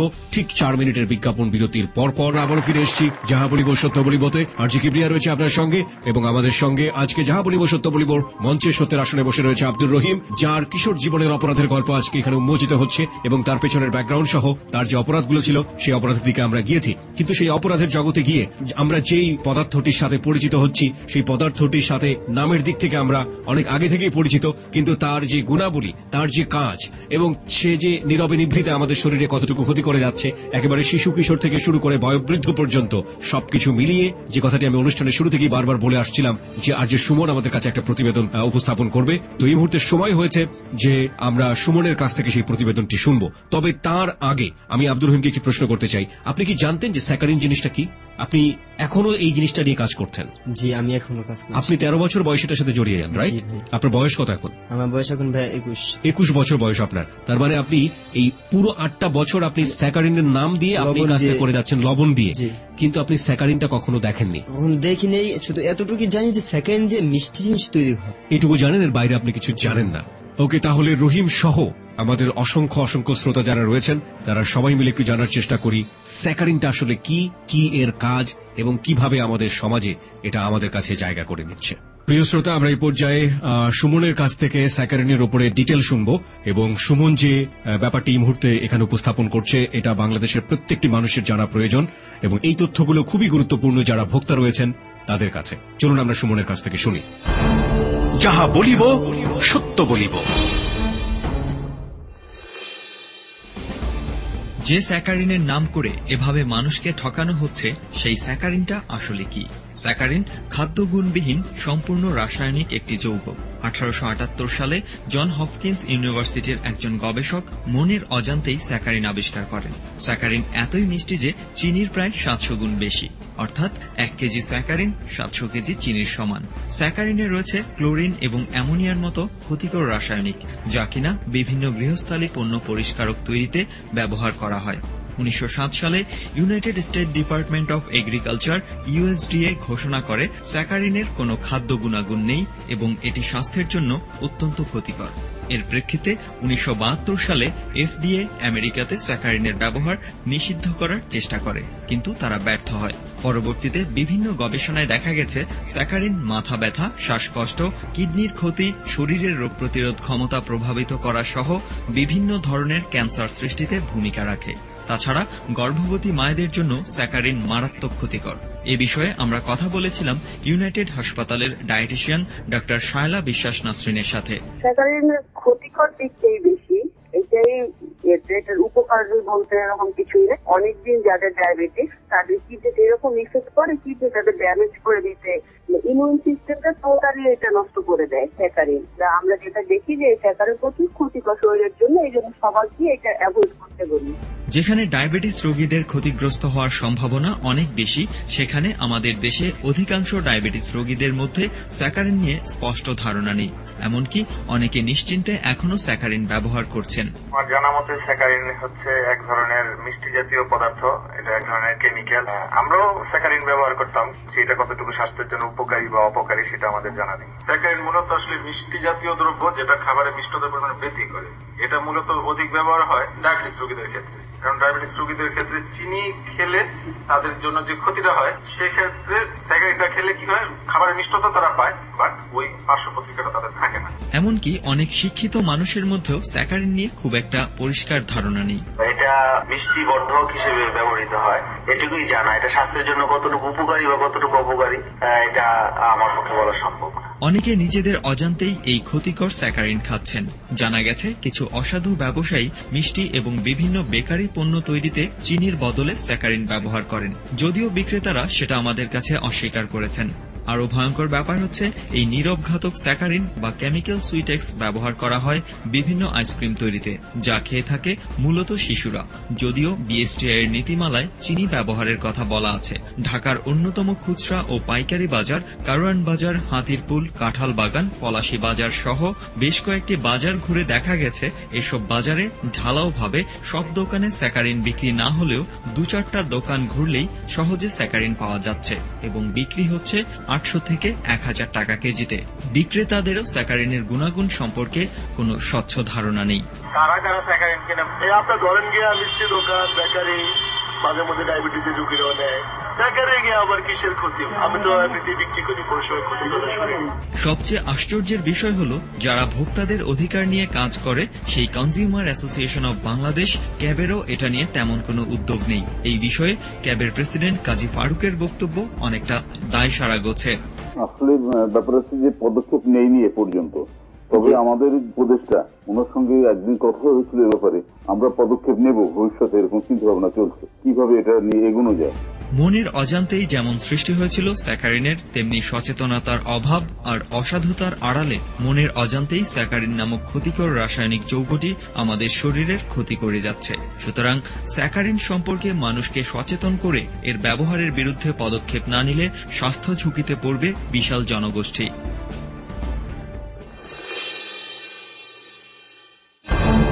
যাহা বলিব, সত্য বলিব। অনেক অনেক ধন্যবাদ, সুমন, আমাদেরকে ডিটেল জানিয়ে দেওয়ার জন্য স্যাকারিনের ওপরে, স্যাকারিনের ইতিহাস থেকে শুরু করে বর্তমান সময় পর্যন্ত কীভাবে স্যাকারিন ব্যবহার করা হচ্ছে এবং এটা মানব শরীরের জন্য কত বড় ক্ষতিকর এবং এটা নিয়ে যে আমরা রীতিমতো একটা ধোয়াশার মধ্যে রয়েছি, সবকিছু ডিটেল আমরা জেনেছি সুমনের কাছ থেকে। সুমনকে আমরা স্পেশালি আরও একবার থ্যাঙ্কস জানিয়ে দিতে চাই। এবং আমরা এই অনুষ্ঠান থেকে প্রত্যাশা করি, যারা আজকে এই অনুষ্ঠানটি শুনছেন কর্তৃপক্ষ যারা রয়েছেন, তারা প্লিজ এই স্যাকারিনের উপরে কি করা যায় এবং স্যাকারিন নিয়ে যে ভাবনার বিষয়গুলো উদয় হলো আজকের এই অনুষ্ঠান থেকে, সেটার উপরে স্টেপ গ্রহণ করবেন। ওকে আমরা আবারও আপনার কাছে ফিরছি। আপনি এই কাজটা করলেন। আপনি ইনফ্যাক্ট এই কাজটা করার পরে আপনি যেটা জানলেন যে টাকার অ্যামাউন্টটা অনেক বড় হয়, কিন্তু আপনার কাছে অল্প অল্প টাকা আসে, তাই তো? এবং আপনার এই ডান্সের সমস্যাগুলো, আপনার যেগুলো সমস্যা ছিল, এই সমস্যাগুলোর সমাধান হয়ে গেল। তারপর তখন ভাইয়া তারা আমাকে টাকা কম দিত। আমি যা পাইতাম তার থেকে ওর কম দিত। তো দেখা গেছে ভাইয়া এমন করতে করতে আমার তৃতীয় দিন একটা কাজে যাই ওটা আমি সরাসরি আলমের সাথে যাই। ও ছেলে যে কাজের ছেলে ও আসেনি। তো আমাকে নিয়ে যায় যাই এটা ঢাকা সিটিতে করি। ঢাকা সিটিতে করার সময় তো জাহাঙ্গীর আমাকে বকতাছে হ্যাঁ কাজ পাওয়াস না কাজে আসছস কে শিখেছে তোদের কাজ? তখন যে মহিলাটাকে আমরা বলছি তার কাছে আপনারা কি সবসময় মহিলাই টার্গেট করতেন না? জি মহিলা টার্গেট করতাম। কারণ মহিলাদেরকে ভোলাতে খুব সহজ হতো। হ্যাঁ আবার ভোলাতাম যদি ভোলানোর মতো ছেলে পেতাম। তাহলে আপনারা দেখে বুঝতেন জি। কীভাবে বুঝতেন যে ওটা টাকা আছে? আমি বুঝতাম না। আমার ওস্তাদ যে আছে আলম ওটাও বুঝতে পারতো। অথবা এখন আমি নিজেই বুঝতে পারি। কীভাবে বুঝেন কীভাবে ঠিক করেন? তাকে আমরা একটা মাপ দিই। মাপ বলতে তার শরীর দিকে তাকাই। আচ্ছা। ভাব সব বুঝি।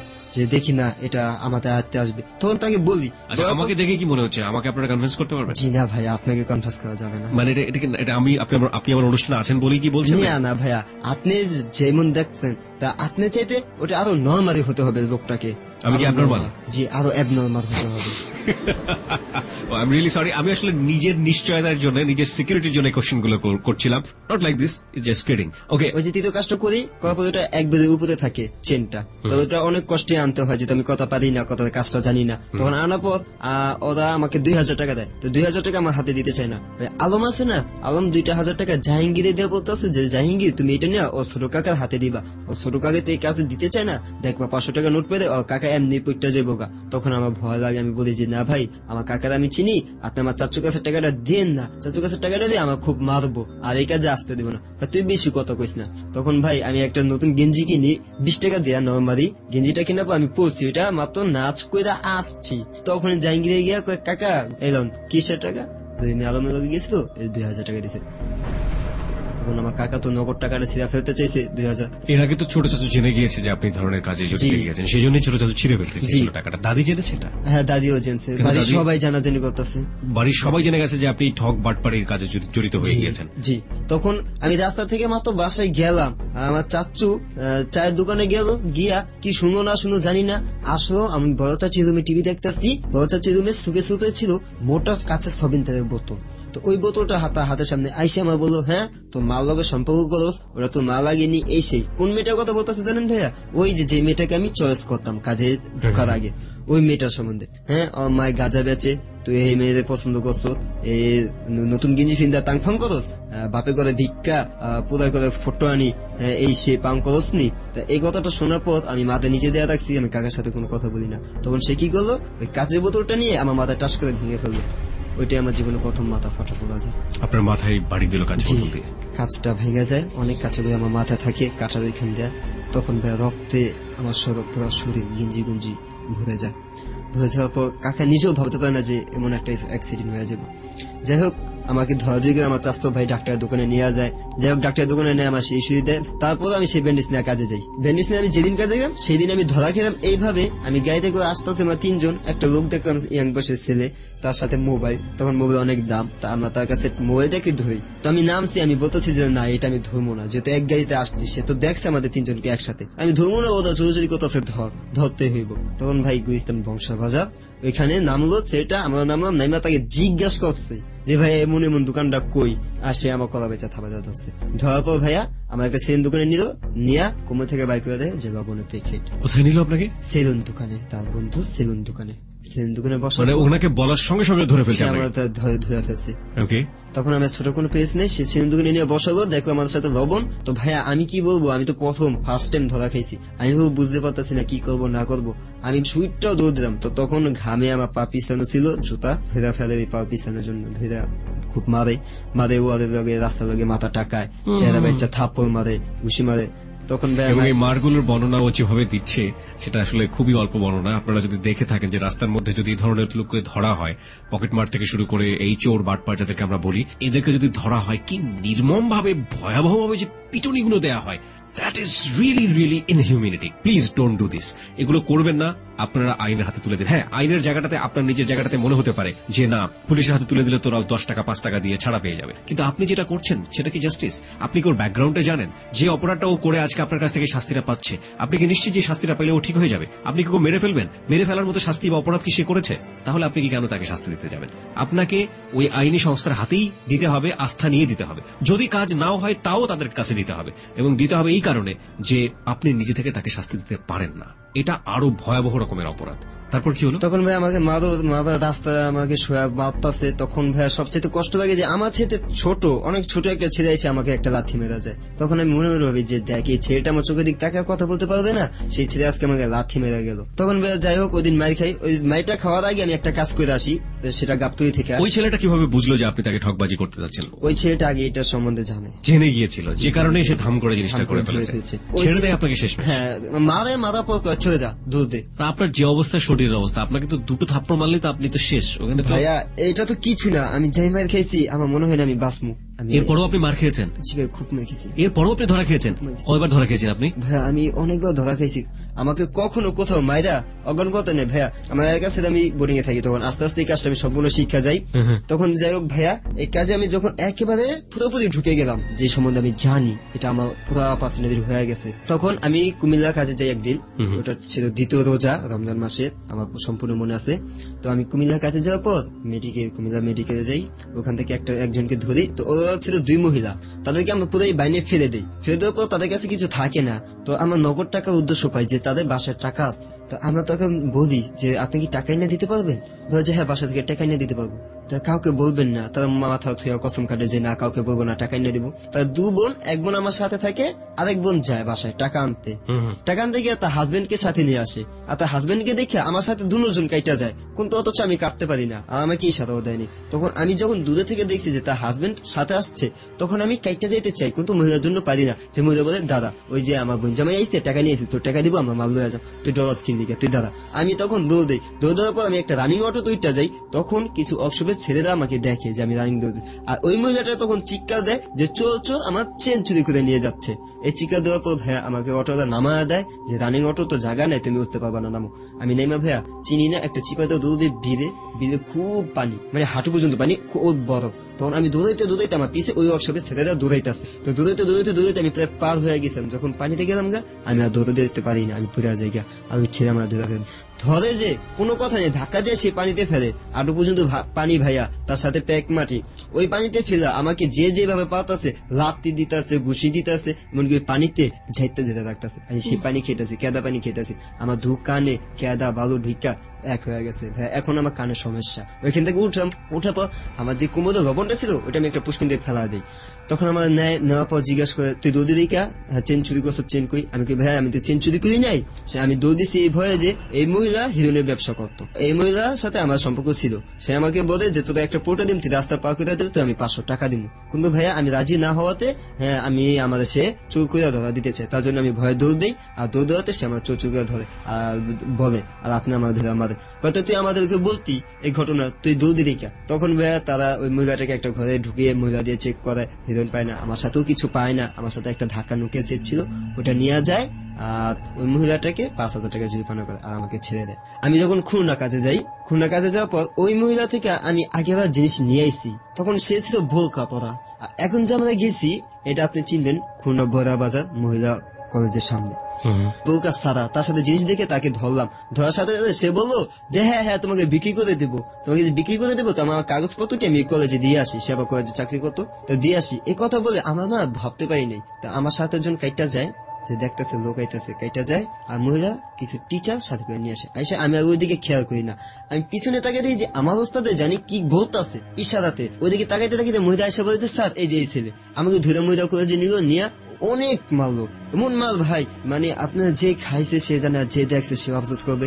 কাঁচা ঠাল আছে না কুলমি ঠাল আমাকে পিটা ভেঙে ফেলছে ওই ঠাল যে যেখান দিয়ে পাশে ঘুষি, রাতে আমার ঠোঁট কেটে রক্ত পড়তেছে, মুখ দিয়ে রক্ত পড়তেছে। কি বলব? আমি এত মাল খেয়েছি, আমি কোনোখানে অজ্ঞান হইনি তখন দেখলাম যে আমার সেই যে ওস্তাদ ইশারা দিল ও ফোনে কথা বলতেছে কারিবাজের সাথে, আমার সাথে, আমার সঙ্গের জনের সাথে। যে তুমি চলে যাও এখানে রহিমে ধরে ফেলছে। তো ও চলে গেছে, কিন্তু ওদের যে কথা বলছে, ওদের মাইন্ড করে ওরাও ধরে ফেলছে। ধরে ফেলার পর ভাই দুইজনের মার মার কি ওরে আলাদা নিছে আলাদা নিছে? আমার ক্যাশ রুমে নিয়ে পিটাচ্ছে। যে যেভাবে বার্তাছে ঘুষি রাতে, বড় মানুষের ঘুষি রাতে কেমন আমি জানি। আমাকে কোনোখানে অজ্ঞান করতে পারেন আমি সেন্সিটিভ হই নাই, কোনোখানে মার খেয়া। এখন আমাকে কাপচা করে ঠাল দিয়া পিটাইতে পিটে কুড়ি গাছের ডাল। জি। ডাল দিয়ে? পিটাইতে পিটাইতে অগ্ন করে দিয়েছে আমি যে অজ্ঞান হয়ে গেছি গিয়া তারপরে আমার বাণী কয় কি মানে ওরা যে কি যেন বলব আমি শুনতে পারলাম না। তা এতটুকু আমি বুঝতে পারছি যে আমি নাকি ভ্যাংসামি দোষী এই কথাটা বলল একজনে। বুঝলে সেই এত মোটা একটা লাঠি ঠাল কাঁচা ঠা ওটা দিয়ে পায়ে পাতা বাইছে একটা জোরে বাড়ি মারলো, ঠাটা ভেঙে গেল, আর আমি এসে অজ্ঞানের থেকে চিক্কু দিয়ে উঠলাম। খুব পেটালো, পেটানোর পর দুজনেরই আমাদের সাথে মোবাইল ছিল, মোবাইল সেট, ওটা দেখা দিল।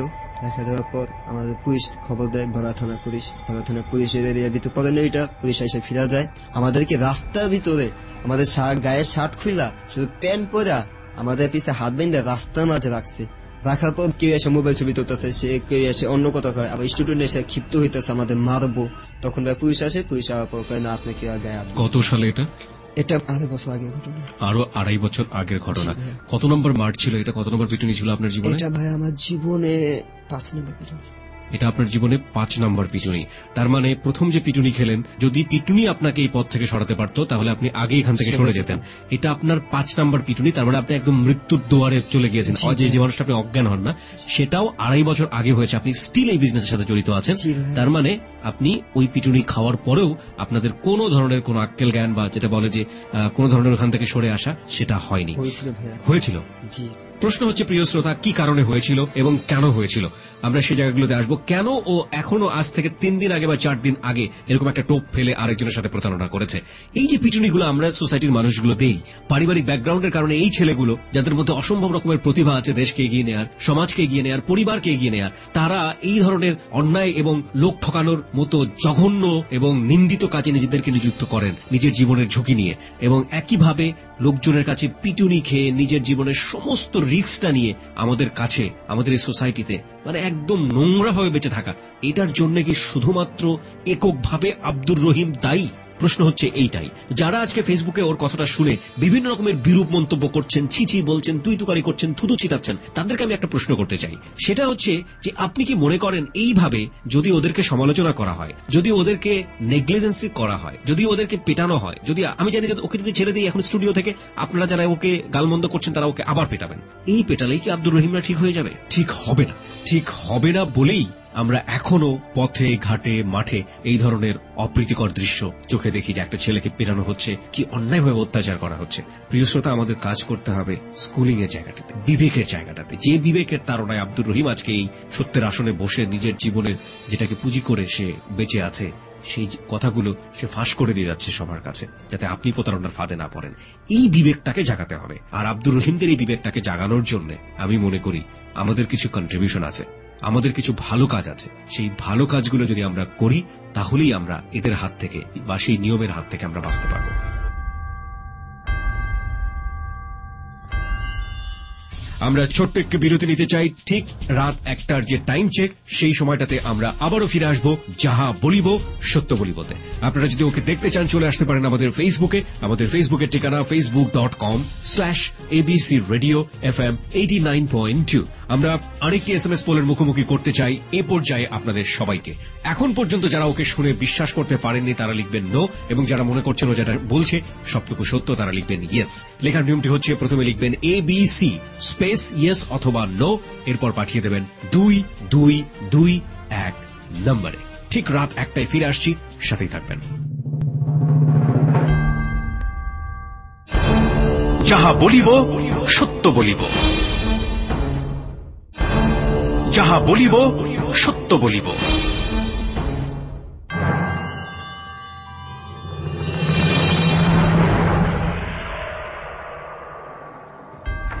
প্রিয় শ্রোতা, সময় এখন রাত একটা এবং আপনারা সবাই শুনছেন আপনাদের প্রিয় অনুষ্ঠান, বাংলাদেশের রেডিওর ইতিহাসের সবচেয়ে চ্যালেঞ্জিং রিয়েলিটি শো যাহা বলিব, সত্য বলিব। মানুষ শব্দটার সাথে বিবেক শব্দটা জড়িত। কারণ পৃথিবীর অন্যান্য প্রাণীদের মধ্যে প্রাণী হিসেবে যারা দুনিয়াতে আছে, তারা বিবেকবোধের জায়গাটি থেকে সম্পূর্ণ উন্মুক্ত। তাদের বিবেকবোধ থাকুক কিংবা না থাকুক, পৃথিবীর একটা মাত্র প্রাণীর মধ্যে বিবেক থাকতেই হবে, সেটা হচ্ছে মানুষ। সে যদি দাবি করে নিজেকে যে আমি মানুষ তাহলে তার মধ্যে অবশ্যই বিবেক থাকতে হবে। আর বিবেক হচ্ছে এমন একটি জিনিস যেটা তার মানবিকতাকে জাগ্রত রাখে। সেই জায়গাটি থেকে সে সমাজে কোনো অন্যায়, অত্যাচার করবে না। সেই জায়গাটি থেকে সে পরোপকারী হবে। সেই জায়গাটি থেকে সে এমন কাজ করবে যেটার দ্বারা তার আত্মা তৃপ্তি পাবে, শান্ত হবে। কিন্তু আমরা দেখে থাকি আমাদের এই বিবেক বিবেকবোধের জায়গাটি অনেক সময় ভোতা। যে কারণে সমাজে অনেক অন্যায়, পারিবারিক অন্যায়, অনেক ধরনের অত্যাচার এবং চারপাশে যে দাঙ্গা কলহ, সেটার পেছনের অন্যতম কারণ হচ্ছে আমাদের বিবেক বোধের জায়গাটি ঘুমন্ত থাকা। আমরা প্রিয় শ্রোতা, ঠিক এই অসাধারণ শক্তিশালী জায়গাটি নিয়ে কাজ করছি এবং যে অনুষ্ঠানটি কাজ করছে তার নাম হচ্ছে যাহা বলিব সত্য বলিব যে এই ভুল, এই অপরাধ আপনাকে কতটুকু শাস্তি দিয়েছে এবং আপনার মতো অপরাধ এবং ভুল যেন কেউ কখনো না করে। তাহলে আসুন যাহা বলিব সত্য বলিবতে আপনি আসতে পারেন, আসার জন্য নিয়মটি হচ্ছে, প্রথমে লিখতে হবে A B C space JBSB space আপনার নাম, এরপর পাঠিয়ে দিতে হবে দুই দুই দুই এক নম্বরে। আমরা এই পর্যায়ে জেনে নেব এস এম এস পোলের রেজাল্ট কম্পিউটার কি বলছে চলুন কত শতাংশ মানুষ এটাকে বিলিভ করছে এবং কত শতাংশ মানুষ এটাকে বিলিভ করছে না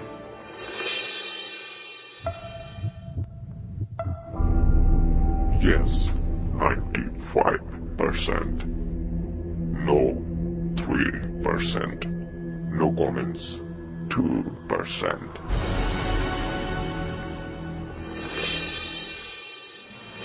প্রিয় শ্রোতা, কম্পিউটার বলছে যে ninety five percent yes ninety five percent হচ্ছে ইয়েস থ্রি পার্সেন্ট হচ্ছে নো এবং টু পার্সেন্ট হচ্ছে নো কমেন্টস অনেক ধন্যবাদ। আমি ফিরি আব্দুর রহিম আপনার কাছে। আপনি বলছিলেন যে পাঁচ বারের পিটুনি। এই পিটুনির পরে আপনাদের সাথে কি করা হলো?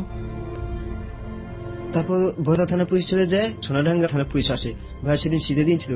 পুলিশ একজন আমার ভোট জুতা দিয়ে আমার পায়ে যে পাতা মারে এত জোরে একটা পাতা মারে ভাই আমার ভোলার যে আঙ্গুলের নোকটা পুরাটা কালা হয়ে যায় রক্ত জমে। আপনি যখন ওই পিটুনি গুলো খাচ্ছিলেন ওই মোমেন্টে আপনার কি মনে পড়ছিল? ভাই কিচ্ছু মনে পড়ছে না। আমি মানে আমি কি বাঁচবো? আমি কি ছাড়া পাবো?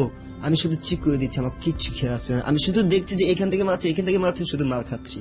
কিচ্ছু খোলা ছিল ওই সময়টা তো মনে হতো না যে বেঁচে থাকাটা অনেক সুন্দর বেঁচে থাকা দরকার যদি বেঁচে থাকতে পারতাম যদি ছাড়া হ্যাঁ, পেতাম। পরিস্থিতির শিকার কীভাবে পারব? আমি যখন এই মালটি খাই খাব ভাই এটা তো পাবলিকে মারবো যখন আমি থানায় নেয় তখন দেখেন পুলিশে কি অত্যাচারটা করে, তার টর্চারটা হলো এমন, প্রথমে তো আমাকে ওই পাড়া দিল একজনে, তারপরে নিয়ে দুইজন আমাকে দু হাত ধরলো। আমার ওস্তাদ, আমার সেটা ভাইয়া মোটা, কিন্তু ভাইয়া ওকে দিল পাঁচটা বাড়ি।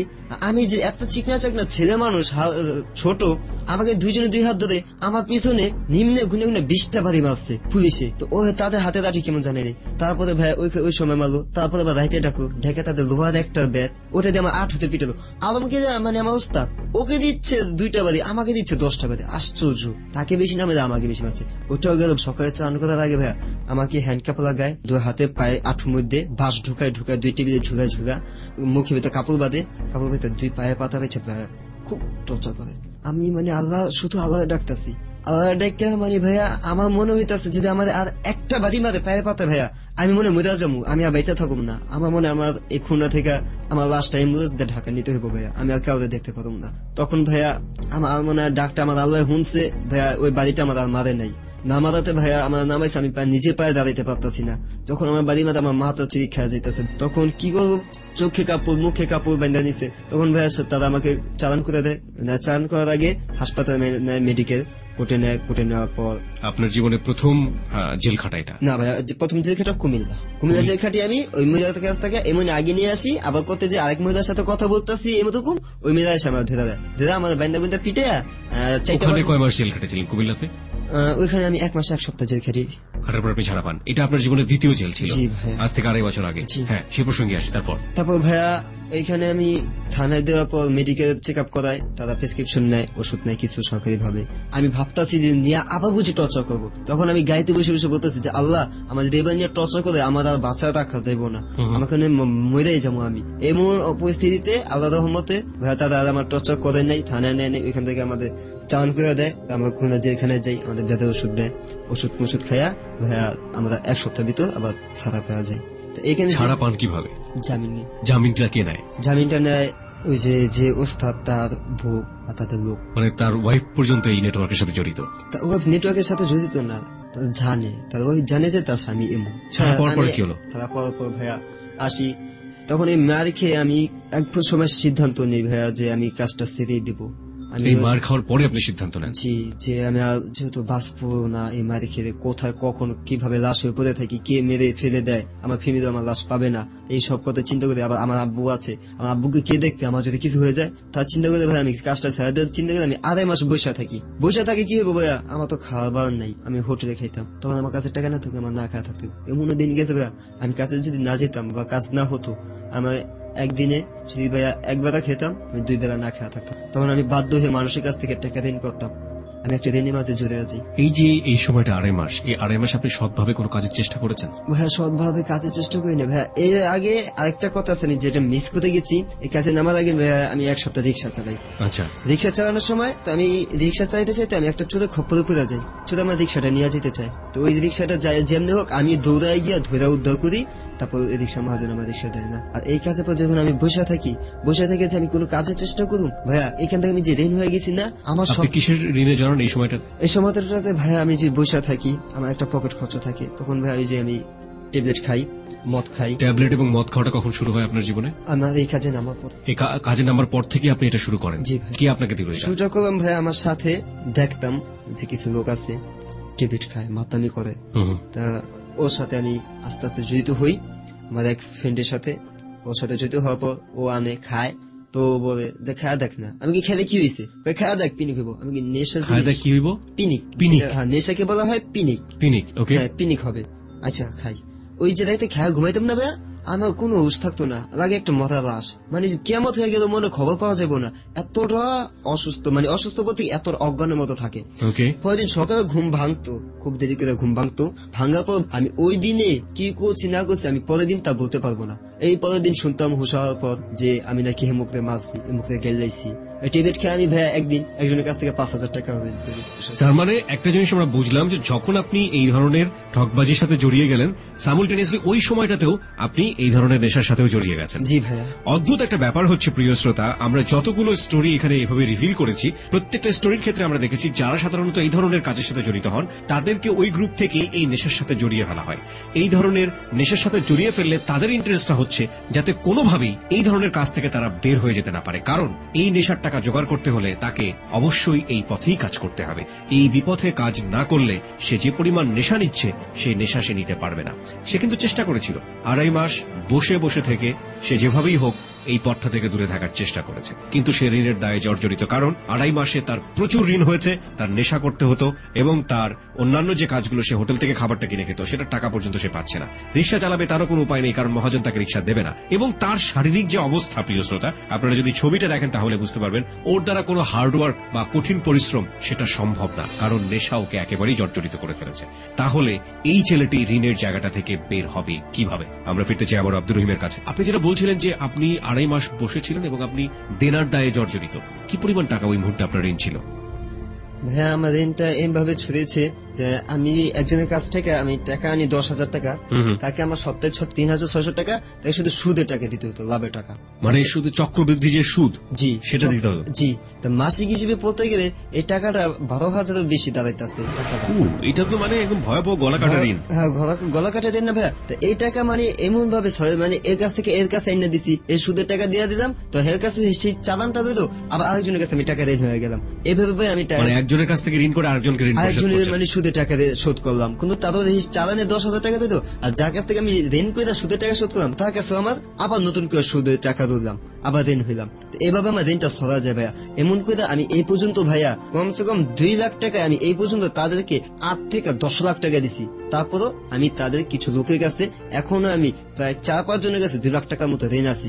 আপনি দুই লাখ টাকার এগেনিস্টে আপনি দশ লাখ টাকার মতো দিয়ে দিয়েছি। তারপরও আপনি দুই লাখ টাকার মতো ঋণ আছেন। জি ভাইয়া। এটা কত পার্সেন্ট কত হারে ঋণ? এত বেশি কেন? দেখে এক হাজার টাকা সপ্তাহে একশো টাকা চায় আচ্ছা যদি আপনি না দিতে পারেন তাহলে পরবর্তী সপ্তাহে এগারোশো টাকার ঋণ দিতে হবে। এগারোশো টাকা চাই বারোশো টাকা দিতে হবে। তার সপ্তাহে তেরোশো টাকা দিতে হবে। পরবর্তী সপ্তাহে আপনাকে এক হাজার টাকার জন্য দুশো টাকা দিতে হচ্ছে। এইভাবে বাড়তে বাড়তে বাড়তে বাড়তে মাস শেষে যদি এক হাজার টাকায় ওকে চারশো টাকা দিতে হয় বা পাঁচশো টাকা দিতে হয় ওটা যদি পরিশোধ করতে না পারে তাহলে পরবর্তী মাসে কিন্তু আবার এই সুদটা কিন্তু মূলের সাথে যুক্ত হয়ে যাবে। কারণ এক হাজার টাকার এগেনিস্টে সে ঋণ শোধ করবে না তখন ঋণ শোধ করবে সে পনেরোশো টাকার এগেনিস্টে এই যে চক্র বৃদ্ধি হারে জিনিসটা যেটা বাড়ছে, এটা বাড়তে বাড়তে একসময় ইনফিনিটি লেভেল চলে যায়। এবং এটাই হয়েছে ওর ক্ষেত্রে। যে ও দুই লাখ টাকা ঋণের এগেনিস্টে আট লাখ টাকা দিয়েও এখন পর্যন্ত দুই লাখ টাকা থেকে মুক্তি পায়নি। তারপর কি হলো? তারপর ভাইয়া এইভাবে দিনটা ছড়া যায় ছড়ানোর পর যখন ভাইয়া আমি ঋণের চাপে পড়ে যাই তখন আমি যার সাথে কাজ করি তার সাথে আমার এলাকার সাথে আমার পালাতে হয়। পালাতে হয় আমি পালিয়ে যাই। আপনি ঋণ করে কি করতেন? এই এই নেশাগুলো করতেন? জি ভাই ওই যে আমি বসেছিলাম আমার খাওয়া দাওয়া চাই দিত। তখন এবং যারা নেশা করে তাদের কাছ থেকে কত যত ইচ্ছা আপনি নিতে পারেন। কারণ নেশা এমন জিনিস ওখানে যদি বলে যে এক লাখ টাকার জিনিসটা আপনাকে পঞ্চাশ হাজার টাকা দিতে হবে এক সপ্তাহের জন্য সে শরীরের অত্যাচার সহ্য করতে না পেরে সে সেটা করবে। আমার সামনে ভাইয়া ইয়াবা যেটা বলে, ইয়াবা, ট্যাবলেট, ইয়াবা, আমার ঘরে বসে আমি যে মেয়ের সাথে সম্পর্ক করি, তার দুটো সৎ মামা। তার সেই মামারা আমার ঘরে বসে আমার সামনে ইয়াবা ট্যাবলেট খাইছে, অথচ আমি খাই নাই। আমার ঘরে নিয়ে চাকু থুইছে, চা পাটি থুইছে, ছুরি থুইছে কিন্তু অথচ আমি ওইটি ধরি নাই আমি কখনো ওই দেয়নি জানি কিন্তু এক এক সময় ইচ্ছা জাগলো যখন আমি নিজে ত্যক্ত হয়ে গেলাম আর পারতাছি না এই ঋণের চাপে তখন আমার এমন সিচুয়েশন ছিল তখন যদি আমাকে কেউ বলতো যে তোর এই ঋণটা আমি দিয়ে দিব তুই ওই লোকটাকে খুন কর তখন আমি ওইটা করতে প্রস্তুত ছিলাম। তারপরে আমার নিজে যে বিয়ে করছি আমার যে ওয়াইফ আছে বিয়ে কবে করলেন আপনি? গত বছরের এপ্রিল মাসে বারো তারিখে করছি। একটা হচ্ছে যে এই তো একইটা মরার উপরে খাড়ার ঘা ঋণ তারপর আপনি আবার বিয়ে করতে কেন গেলেন? ভাইয়া বিয়েটা আমি সামাজিক চাপে পড়ে গিয়ে করছি। সামাজিক চাপ মানে? সামাজিক চাপ মানে আমাদের এলাকাটা এমন যে কোনো অনৈতিক কাজ ঘটে মাদক দ্রব্য যাই বলেন না কেন। তো ওই সমাজে আমি সম্পর্ক করতেছি একটা মেয়ের সাথে এটা নিয়ে অনেকেই কূটনীতি করে। কূটনীতি মানে আগে চলে কথা বলে। তো আমার ওয়াইফের সাথে যখন আমার সম্পর্ক আমাদের চারপাশে কিছু লোক আমাদের আগে পিছিয়ে কানাকুচি করে। কানাকুচি করা মানে কিছু কথা বলে আপনি কি মেয়েটাকে লাভ করতেন হ্যাঁ মেয়েটাকে লাভ করতে পারব কত বছর যাবত লাভ করেছেন? মেয়েটাকে আমি প্রায় দেড় বছর লাভ করতে ও জানতো যে আপনি এই কাজগুলো করেন? জি জানি সবকিছু জানার পরেও আপনাকে লাভ করেছে? জি লাভ করতে তারপর তার আপনি- ভাইও এই কাজ করতো। তার ভাইও এই কাজ করতো? জি। বিয়ে করলেন কীভাবে? বিয়ে করলাম যে চারপাশে কত শোনাতো যে ও মেয়ের সাথে ও এইটা করছে ওইটা করছে। তো এই কথাটা শুনে আমার সহ্য হতো না। কোন আপনি সাহস কত বছর বয়সে বিয়েটা করলেন? ভাইয়া আমি বিয়ে করছি আজকে মানে দশ মাস হবে সামনে বারো তারিখে সামনে ফেব্রুয়ারি বারো তারিখে। আপনার ওয়াইফের বয়স কত? আমার ওয়াইফের বয়স আঠারো। আঠারো বছর বয়স। আপনার ওয়াইফ কি পড়াশোনা করতো? জি পড়াশোনা করতো কিন্তু ও দরিদ্রের জন্য চাকরি করতো। পড়াশোনা ছেড়ে দেয়। অদ্ভুত রকমের একটা ব্যাপার হচ্ছে প্রিয় শ্রোতা, এই যে মানুষগুলো যারা আমাদের সমাজে এভাবে নিগৃহীত, যারা আমাদেরকে ভালো থাকতে দেয় না, এবং ওরা নিজেরাও ভালো নেই, ওরাও একেবারে তুচ্ছ তাচ্ছিল্যের মতো বেঁচে আছে এই সমাজে। এবং একটা কথা আছে রবীন্দ্রনাথের, যাকে তুমি পেছনে ফেলছো, সে তোমাকে সামনে যেতে দেবে না, সে তোমাকে পেছন থেকে টেনে ধরে রাখবে। এই মানুষগুলো আমাদেরকে সোসাইটিতে পেছন থেকে টেনে ধরে আছে। কিন্তু এদের যে পারিবারিক ব্যাকগ্রাউন্ড, এদের যে অর্থনৈতিক অবস্থা, এদের প্রতি সামাজিক ন্যায় বিচার, সেটাও কিন্তু এদেরকে বাধ্য করছে এদের আজকের এই অবস্থার জন্য। আমরা কোনোভাবেই পাশ কাটিয়ে যেতে পারি না এই পরিস্থিতিগুলোকে। আমি একটু জানতে চাই যে আপনার মাথায় যখন এত ঋণের বোঝা, আপনি কি বুঝতে পারছেন যে সেই মুহূর্তে বিয়ে করা মানে আরেকটা দায়িত্ব, লম্বা একটা দায়িত্ব, অনেক বড় একটা দায়িত্ব আপনার মাথার উপরে এসে পড়া? সে কথাটা বলার মতো আপনার উপরে কেউ ছিল? ভাইয়া, বলছে আমার আব্বা, না বলছে আমার আব্বাকে জিজ্ঞেস করার পর তখন আমি ওকে বলি যে, দেখো, আমি যেহেতু ঋণ আছি তো আমি তোমাকে একটা বছর পরে বিয়ে করি। আমি বিয়ে করে ওদিক নিয়ে নিই সামাজিক চাপে, যেহেতু লোকজন কানাফুসি করতেছে। ওর ফ্যামিলিও বলল আম্মা, আমার শাশুড়ি বলল যে, দেখো কানাফুসি করতেছে, তোমার বিয়েটা করে ফেলো। বিয়ে করে না তুমি খাওয়াও না, তুমি আমাদের বাসায় রেখে দিও। তা আমি বললাম যে, দেখো, একটা বছর পরে বিয়ে করে, আমি যদি পারি, কাজটা করে ঋণ পিন দিয়া, কাজটা সাহায্য দিই, অথবা ঋণ পিন কমে যে তুমি ঋণ আসি একটা বছর পরে বিয়ে করো। তখন ও মানে অন্যরকম হয়ে যায় যে, না, বিয়ে করতে হবে।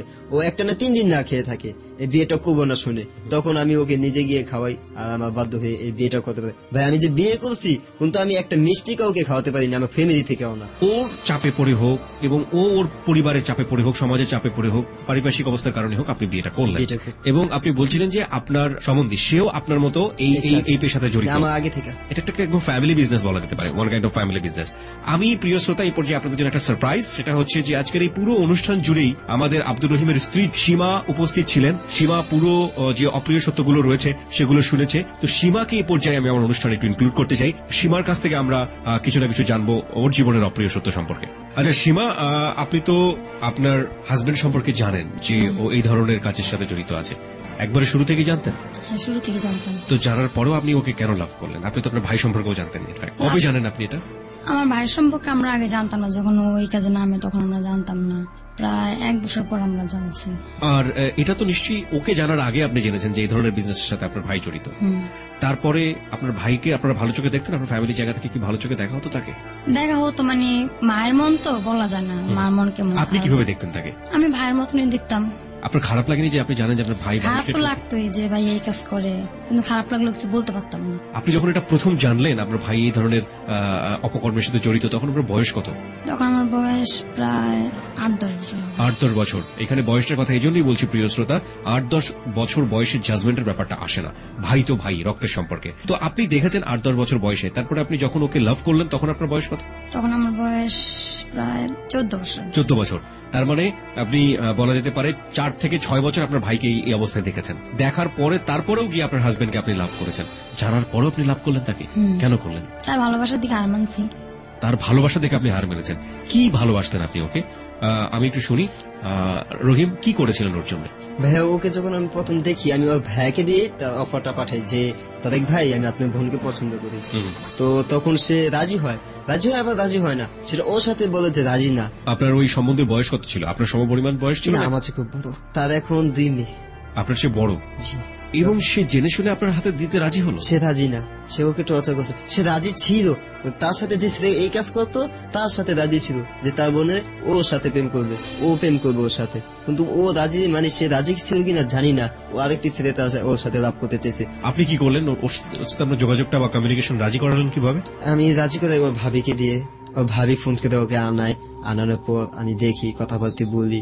তো ও ফার্স্টে সিরিয়াসলি নেয় নাই। ও যে বলল চার বছর আমাদের সম্পর্ক এখন তো আঠারো বছর চোদ্দ বছর ওর সাথে লাভ। চার বছরের ভিতর ওর সাথে আমার জিনিন প্রেম হয়েছে আপনার লাভ হয়েছে এক বছর এক থেকে দেড় বছর। আর বাকি সময়টা আপনি চেষ্টা বাকি সবটা আমি চেষ্টা করছি কিন্তু ও হ্যাঁ আসি এই সেই কিন্তু মন থেকে না। এই আর কি। তখন ও আমার দেখো যে আমার আগ্রহ প্রেমের প্রতি। সীমা আপনার ফ্যামিলি জানে মানে আপনার পক্ষ থেকে জানে যে জামাই এই কাজগুলো করে এগুলো কি জানে বাবা মা? হ্যাঁ এই কাজগুলো জানেন জানেন বাবা। আপনার ফ্যামিলিটা জানে? আব্বু আম্মু এটা জানে? জানে কিন্তু জানার পরও আমার বাপ মা রাজি ছিল না। ওর কাছে বিয়া দেওয়া তো আমার বাপ রাজি ছিল না। ওকে মানে অনেক আমার অনেক টর্চার করছে আমার বাপ মা আপনার বাবা কি জানে যে ও পাঁচবার এভাবে পাবলিকের হাতে মার খেয়েছে লোকজনের কাছে মার খেয়েছে? এসব জানে না। এসব জানেন আপনি জানেন এটা? এটা আমি জানি কিন্তু পাঁচবার কিংবা এসব জানতাম না। দুবার ও জেল কেটেছে জানেন আপনি? এটা জানি। এবং এই ধরনের কাজের জন্য আপনার হাজবেন্ড যে কোনো মুহূর্তে পাবলিকের হাতে একটা অকারেন্সের শিকার হয়ে মারা যেতে পারে এরকম একটা দুর্ঘটনার শিকার হতে পারে এটা আপনি জানেন? হ্যাঁ জানি। আপনার কাছে কেমন লাগে আপনার ফিলিংসটা কি? খারাপ তো লাগতেই পারে যে স্বামী কাজ করে। আপনি কি করেন? আপনার জায়গাটা থেকে আপনি কি করেন? ওকে ওকে আপনি কি বলেন এই এই কাজগুলোর জন্য? আপনি কি ওকে কখনো না করেন? বা আপনি হ্যাঁ, কি- আপনি কি উৎসাহ দেন যে কাজগুলো করার জন্য? কি বলেন আপনি? আমি ওকে না করে যে এই কাজটা ছাইরা দাও তো বলে যে এখন যদি কাজ ছাইরা দিই তো পাওনা ধরো আমার ধরবো। কত টাকা পাওনা আছে? প্রায় দেড় লাখ টাকা তো হবে দেড় থেকে দুই লাখ টাকা। ওটা সেও একটু আগে বলছিল। কি করে এটার জন্য পাওনা দাদা আপনাদের বাড়িতে আসে? এখন বাড়িতে আসে কি বলতে কি? যেমন এখন আমরা অন্য জায়গায় আছি। পাওনাদার চাপে আমরা অন্য জায়গায় আছি। পালিয়ে আছেন? পালিয়ে বলতে। তাহলে? মানে কিছু পাওনাদার জানে যে আমরা কই আছি। যেমন অনেকের দূরে থেকে ঋণ দিতে যাচ্ছি। মানে কি ভাই যাদেরকে টাকা দেওয়া হচ্ছে দুটা পাওনাদার মানে দুটা পাওনাদার একটা পাওনাদার জানে যে আমি কোথায় আছি। যে আমাকে ধরে নিছে ধরে নিয়ে আমার আছে আটু ফাটা ফেলছে। আবার আমাকে চেদের সাথে বাইধা মেন রাস্তা ভিতর আমার বাড়ির ঘেটের সামনে আমাকে চিৎ করে ফেলে রাখছে। রদ দিয়ে বাড়ি মেরে আমার পাও ফাটা ফেলছে। এটা কি বিয়ের পরে? না এটা বিয়ের আগে। সেই দৃশ্যগুলো আমার ফ্যামিলি দেখতাছে। কিছু বলেনি আপনার ফ্যামিলি আমার ফ্যামিলি কিছু বলার ছিল না কারণ আমি তাদের কাছ থেকে টাকা নিছি তারা কি বলবে? তারা যদি বলতে যায় তাহলে সেই টাকা তাদেরকে দিতে হবে। এই কারণে আপনার বাবা কি বলে? আমার বাবা কি বলব? যে তখনই বলছি যে যাস না এখন তুই কই দাঁড়াইছ গেছ গা এখন তুই ভুলে খেয়াস তুই দিত দেখ কি অবস্থা। যদি আমার কথা শুনতি আজকে তুই এই পর্যন্ত বিয়ে করেছেন কত সালে? দশ মাস। আমি হ্যাঁ দশ মাস। দশ মাস। এই দশ মাসের মধ্যে ধরনের কোনো অকারেন্সের শিকার হয়েছেন আপনি? হ্যাঁ আমি এই যে কিছুদিন এক মাস আগে আমার এক পানদানি আমার এসতে আর আমি আপনার স্ত্রী সেটা জানে? হ্যাঁ আমার স্ত্রী গিয়ে আমার আনছে। কি দেখলেন আপনি সীমা? ওনারা যে মারছে তা আমি দেখিনি কে মানে উনিও বলে নাই কাজে আমার যাইতে। তারা পানাদারের চাপে বলছে যে তোর বউরে আন মানে পানাদার আমার ফোন দিছে যে তোমার হাজবেন্ড কোথায় থাকে? তো আমি বলছি আমি আমার বাসায় থাকি আর আমার হাজবেন্ড অন্য জায়গায় থাকে। তারপরে বলল তোমার হাজবেন্ড কি টাকা দেবে না? আমি হ্যাঁ দেবে দেবে না। টাকা যেহেতু নিস তারপরে তো দিতে হবেই। পরে বলছে আমারে যে তুমি আইসা আমার সাথে দেখা করে যাও। তোমার হাজবেন্ডের ব্যাপারে। তো আমি বলছি আমি দেখা করব কিসের জন্য? আমার হাজবেন্ডে দেখা করবে। আমার দেখার কোনো প্রশ্ন ওঠে না। তো আমার কথার কারণে আর কি ওনারে বেশি একটি করছে। যেমন পানাদারের সাথে আমি একটু ই দিয়ে কথা বলছি তো তার জন্য বেশি মারছে তো এই যে মারলো পাবলিকলি যখন মারে হাজবেন্ড ও স্ত্রীর সম্মানের জায়গা। আপনি তো সেটা ফিল করেন না। যে প্রত্যেকটা স্ত্রীর জন্য তার স্বামী হচ্ছে সম্মান। তো যখন আপনি দেখেন যে আপনার পাবলিকলি আপনার হাজবেন্ড এভাবে কিছুদিন পর পর মার মারের শিকার হচ্ছে লোকজন তাকে সম্মান দেয় না তখন আপনার কেমন লাগে? ফিলটা কি হয়? একদম টু বি অনেস্ট আপনার জায়গা থেকে আপনি যেটা ফিল করেন সেটাই বলবেন। খারাপ খারাপ লাগে যে আমার স্বামীকে অন্যজনরা মারবে কি, কিসের জন্য? কিংবা আজকে আমার স্বামীর পরিস্থিতির কারণে হচ্ছে যত সব পাওনাদাররা। যেমন ও এই কাজ করছে বিদায়, ওরা সবাই টাকা দিচ্ছে কিন্তু এই জিনিসটা ভাবে নাই কা? যে এখনও ছোট, কি দেখে আমরা টাকা দিব? আর ফ্যামিলি পক্ষ থেকে কেউ আসে নাই কা জোর আমি টাকা দিই কিংবা হ্যাঁ দাও। কেউ কিছু বলেনি কেন? তো সবাই দিছে টাকা লোভে যে কাজ যেহেতু করে, তো দেই। আজকে যে ওরা পাঁচশো দেই, তাহলে আমি ওর থেকে দুই হাজার টাকা পাবো। এইভাবেই আর কি লোক দিছে। ওর পরিস্থিতির কারণে একমাত্র লোক মানুষ ও দারুণ একটা কথা বলেছে। প্রথম থেকে শুরু করে এখন পর্যন্ত সবাই এখানে গ্রিডি সবাই লোভী। এই যে স্যাকারিন যারা কিনে আমাদের প্রতিদিনের খাবারে মেশাচ্ছে তারা এক ধরনের লোভী। যারা স্যাকারিনটাকে দোকানে নিয়ে বিক্রি করে বেশি টাকা নিবে তারা এক ধরনের লোভী। ও যাদের কাছ থেকে নেশার জন্য টাকা নিচ্ছে এবং সেই টাকার জন্য যারা বেশি বেশি ইন্টারেস্ট দিচ্ছে তারা এক ধরনের লোভী। এই লোভে লোভে যে সমীকরণগুলো দাঁড়িয়েছে সেটা হচ্ছে যে যে সম্ভাবনাময় তরুণ যে সম্ভাবনাময় একটা জীবন প্রত্যেকটা মানুষই সমাজে সম্ভাবনাময়। সেই সম্ভাবনাময় আব্দুর রহিম হয়তোবা ধীরে ধীরে এভাবেই নিঃশেষ হয়ে যাবে। দেখুন সমাজ তাকে শোষণ করছে পরিবার তাকে শোষণ করছে বন্ধু বান্ধব তাকে শোষণ করছে এবং শেষ পর্যন্ত সে ধরা খেয়েছে মেডিসিনের কাছে। মেডিসিন বলতে আমি যেটা বোঝাচ্ছি সেটা হচ্ছে ড্রাগ। আপনি জানেন ও ড্রাগ অ্যাডিক্ট? ও যে মাদক নেয় এটা আপনি জানেন? ও যে ঘুমের ট্যাবলেট খায় এটা আপনি জানেন? আগে জানতাম। আগে জানতেন মাঝখানে জানতেন না? মানে ও শুরু থেকে তার মানে ফার্স্ট খেয়েছে ঠিক আছে? হুম। পরে তার খায় না মাঝ থেকে ভাইয়া আমি আজকে তিন বছর হয় আমি এটা খায় দিছি। না। আপনি শিওর আপনি ছেড়ে দিয়েছেন? আমি এটা ছেড়ে দিছি। এখন যদি কোনো বিয়ে পার্টি হয় একটু মদ খাব নয়তো বিয়ার খাব। এই নয়তো আমার সিগারেট কোনো নেশা নেই। কিন্তু সিগারেটও তো এক ধরনের হ্যাঁ। আমি- হ্যাঁ সিগারেট সিগারেট খান আপনি? সিগারেট আমি আগে দৈনিক এক প্যাকেট খেতাম। এখন আমি দৈনিক পাঁচ থেকে ছটা খাই। কিন্তু আপনার চেহারা যেটা বলছে আপনি কিছু একটা লুকাচ্ছেন আমার কাছ থেকে জি না ভাইয়া আমি এখন আর কোনো ড্রাগসের ভিতর নাই। শিওর আপনি আপনি- আপনি শিওর আপনার হাজবেন্ডের কাজকর্ম করার ক্ষমতা স্ত্রীর প্রতি দায়িত্ব পালনের যে ক্ষমতা সেগুলো সে ঠিকমতো দায়িত্ব পালন করতে পারে? হ্যাঁ। ওকে আপনি কি ফিল করেন? আপনার সংসারটা কেমন দেখতে চান? আপনার ভবিষ্যৎ পরিকল্পনা কি? ওর ওর ওর জায়গাতে আমি পরে আসছি। আপনি আপনি থাকে না মেয়েদের একটা মেয়েদের কিন্তু সংসার নিয়ে অনেক সুন্দর একটা স্বপ্ন অনেক স্বপ্ন থাকে। হ্যাঁ সেই স্বপ্নের জায়গাটা কেমন? আমার স্বপ্ন কেমন? আমার স্বামী ভালো কাজ করব আমার ছেলে মেয়ে বড় গলায় কথা বলতে পারব মাথা উঁচু করে দাঁড়াতে পারব। তারপরে সুন্দর একটা ছোট পরিবার থাকব আমি আমার শ্বশুর বাড়ি যেতে চাই। ও এই কাজ ছাইরা দেখ আমার কোনো আপত্তি নেই। দিনে না দিন খাম তার জন্য কোনো ই নেই। এই ঠকবাজি টাকাগুলো নিয়ে এসে যখন আপনাকে দেয় আপনার কেমন লাগে? খারাপ লাগে। মা শুধু দেয় না টাকাটা আমার দেয়। মাথা ঘাম পায়ে ফেলায় যদি আমার টাকাটা দিত তাহলে হয়তো আমার একটু আনন্দিত লাগতো। বলেন এবার আপনি আপনি কি বলতে চান? কি বলব ভাই? আমি যে মাথা ঘাম পায়ে ফেলে টাকা আনব সৎ পথে, আমার তো সে পরিস্থিতি নাই। আমি যদি সৎ পথে আমি দুইশো টাকা ইনকাম করি, দুইশো টাকা দেয়া আমাদের দুজনের সংসার চলে যাব একদিনে, বা দুই দিনে চলে যাব। কিন্তু ভাই, আমার যে সপ্তাহ শেষে পাঁচ থেকে দশ পনেরো হাজার টাকা পানাদারকে দিতে হইতাছে, ওই টাকাটা আমি কোথায় পাবো? আর ওই টাকাটা না দিলে যে আমার প্রতি টর্চার শুরু হইব, ওই টর্চারটা তো অন্য কি পাইবো না। আমার শরীরে দুপুরে দিয়ে যাব ভাইয়া। এখানে আমার তো করার কিছু নেই। আমি তো পরিস্থিতি শিকার। Now come to the solution এবার আপনারা বলেন, যারা লাখ লাখ শ্রোতা আমাদেরকে শুনেছেন, কজন পারবেন? এখানে অনেক বড় বড় লেকচার শুনেছি। ফেসবুকে রীতিমতো ওকে নিয়ে গালমন্দ হচ্ছে, অনেক আলোচনা হচ্ছে, সমালোচনা হচ্ছে, ওর অনেক খুদ বের করার চেষ্টা করছেন অনেকে। অনেক বেশি পরিমাণে ওর উপর অ্যাটাকিং হচ্ছেন। তাদেরকে একটু বলি, পারবেন ওকে বিশ্বাস করে এই জায়গাটা থেকে সরিয়ে নিয়ে আসতে? সেই জায়গাটায় আমরা সবাই নীরব। সো বাধ্য হয়ে আমরা শেষ পর্যন্ত হয়তোবা আব্দুর রহিমকে একদিন রাস্তায় মরে পড়তে থাকতে দেখব। আমরা আব্দুর রহিমের জন্য আজকের এই অনুষ্ঠানটা করিনি। আমরা করেছি এই কারণে যে সমাজে যাতে আর কোনো আব্দুর রহিমের জন্ম না হয়। আমাদের জেবিএসবির মোটো সবসময় এরকম থাকে যে একজন আব্দুর রহিমকে দেখিয়ে দিয়ে লাখ লাখ আব্দুর রহিমকে সচেতন করা যে এই রাস্তায় হেঁটো না, কারণ এই রাস্তা খুবই দুর্বিষহ, এখান থেকে বেরোতে পারবে না। এবং একই সাথে যারা আব্দুর রহিম হয়ে মাঝপথে আছেন, তাদেরকে ওখান থেকে ফিরিয়ে নিয়ে আসা, যদ্দূর করেছ এনাফ কারণ এটা তোমাকে একসময় শেষ করে দেবে। দেখুন, ওর সামনে এখন একটা সুন্দর স্বপ্ন আছে। ওর ওর কিন্তু শাস্তি ভয়াবহ, কারণ ও জানে যে আমি একটা অনিশ্চয়তার পথে আছি। ওর কিন্তু ঘরে প্রিয়তম স্ত্রী আছে। নিশ্চয়ই একটা সন্তানের স্বপ্নও আছে। আপনাদের কি কোনো সন্তান হয়েছে এখন পর্যন্ত? জি না হয়নি দশ মাস বিয়ে হয়েছে সুতরাং পরিকল্পনা কি আছে বা এরকম সম্ভাবনা কি আছে? পরিকল্পনা আছে আমি যদি ঋণ শোধ করে দিতে পারি আমি যেদিন ঋণ শোধ করে দিব আমি সেই দিনে ভালো হয়ে যাব পাঁচ ওয়াক্ত নামাজ পড়ব প্লাস আমি ভালো কাজ করব। ওই সময় আমি সন্তানের ইচ্ছা জাগছে যে তখন যেন আমার সন্তানকে কেউ বলতে না পারে যে তোর বাপের চো তোর বাপের সিটা তোর বাপের সিটাই করে টাকা আনে। তুই বড় কথা কীভাবে বলিস? তাকে গেছে ও আমার ছেলে আমার থেকে যেমন আমার বন্ধু বান্ধব হাঁটতাছে ওর বাপ মা বলতাছে তুই এই সিটা চোরের সাথে হাঁটিস না। তা তখন তা আমার বন্ধু ছেলে, আমার ছেলে যখন হবে, আমার বন্ধু, তার বন্ধু বান্ধব বলবে, আমার ছেলে বন্ধু বান্ধব যে তোর বাপে তো চোর, তোর সাথে আমরা হাঁটবো না। তখন আমার ছেলের কাছে আমার জবাবদিহি কি থাকবে? আমি আমার ছেলেকে কি বলব? তাই আমি চাচ্ছি যে আমি যত তাড়াতাড়ি সম্ভব, আল্লাহ আমাকে তাফিক দান করুক, আমি যেন ঋণ দিয়ে এই কাজটা ছেড়ে ভালো হয়ে যেতে পারি। তখন আমার পরিকল্পনা আছে আমার ছেলে, সন্তান বা ভবিষ্যৎ নিয়ে। তার আগে আমার জীবনটা অনিশ্চয়। আমি আব্দুর রহিম, কখনোই আপনাকে বলব না যে আপনি যে পথে হেঁটে ঋণ শোধ করতে চাচ্ছেন, সেই পথে আপনি হাঁটেন। আমি যদি আজকে আপনাকে যারা ঋণ দিয়েছে, তারা যদি অনুষ্ঠানটি শুনে থাকে, আমি তাদেরকে রিকোয়েস্ট করতে চাই। ভাই, একটা মানুষকে ভালো হওয়ার সুযোগ দিলে কিন্তু আল্লাহ আপনাকে অনেক অনেক দিক থেকে হেল্প করবেন। কারণ আমি বিশ্বাস করি প্রত্যেকটা মানুষই ধর্ম বিশ্বাস করেন। আপনারা ওর কথা আজকে শুনেছেন। একটা মানুষকে কি ভালো হওয়ার সুযোগ দেওয়া যায় না? যারা ওকে ঋণ দিয়েছেন, তারা কি ওর ঋণের জায়গাটা একটু মাফ করে দিতে পারেন না? শুধুমাত্র মূলধনটুকুই নিন ওর কাছ থেকে। ওকে একটু ভালো হওয়ার সুযোগ দিন? ওকে আর অন্যায় পথে না যাওয়ার সুযোগ দিন। দিন না ওকে সুযোগ। বিশ্বাস করাটা খুবই কঠিন, কিন্তু মানুষের উপর বিশ্বাস হারানো পাপ। আমি তাদেরকে রিকোয়েস্ট করতে চাই। ওকে সৎ পথে উপার্জন করে ও যতটুকু পরিমাণ পারে আপনাদেরকে শোধ করতে, ততটুকুই শোধ করুক। একটু সুযোগ দিন একটা মানুষকে ভালো করার জন্য। জীবনে তো অনেক ঋণ নিয়েছেন, অনেক সুদ নিয়েছেন। একটা মানুষকে সুযোগ দেওয়া যায় না? আমি তাদের জন্য এতটুকু বলতে পারি।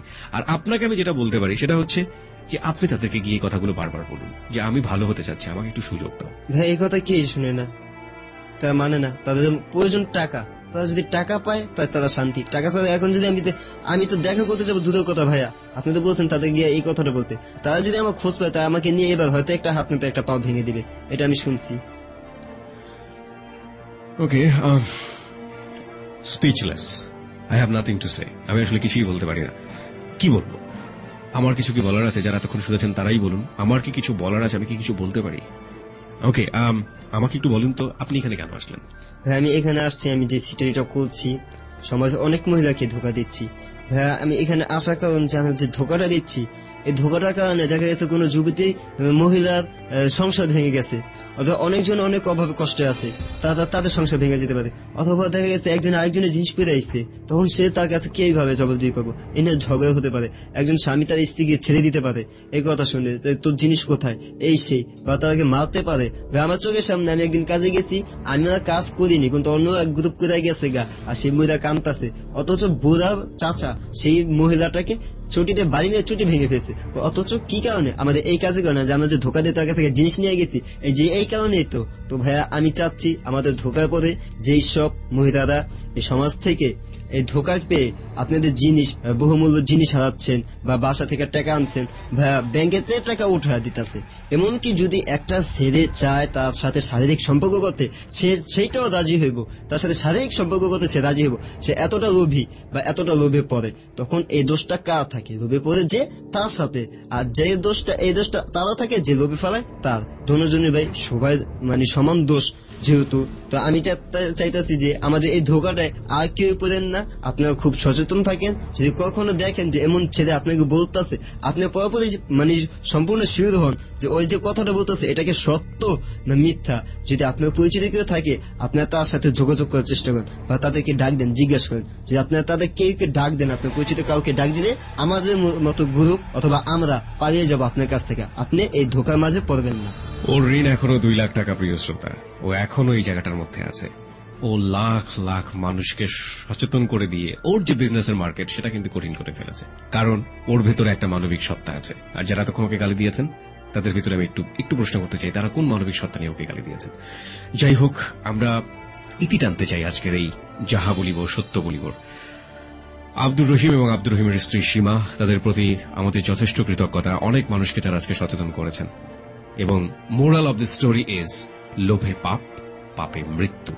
এ পর্যায়ে আমরা আমাদের যিনি বিশেষজ্ঞ পুরো অনুষ্ঠানটি শুনেছেন ঢাকা বিশ্ববিদ্যালয়ের শান্তি ও সংঘর্ষ অধ্যয়ন বিভাগের শিক্ষক অনুরাগ চাকমা তার কাছে আমরা যাচ্ছি। তিনি ফোনে রয়েছেন।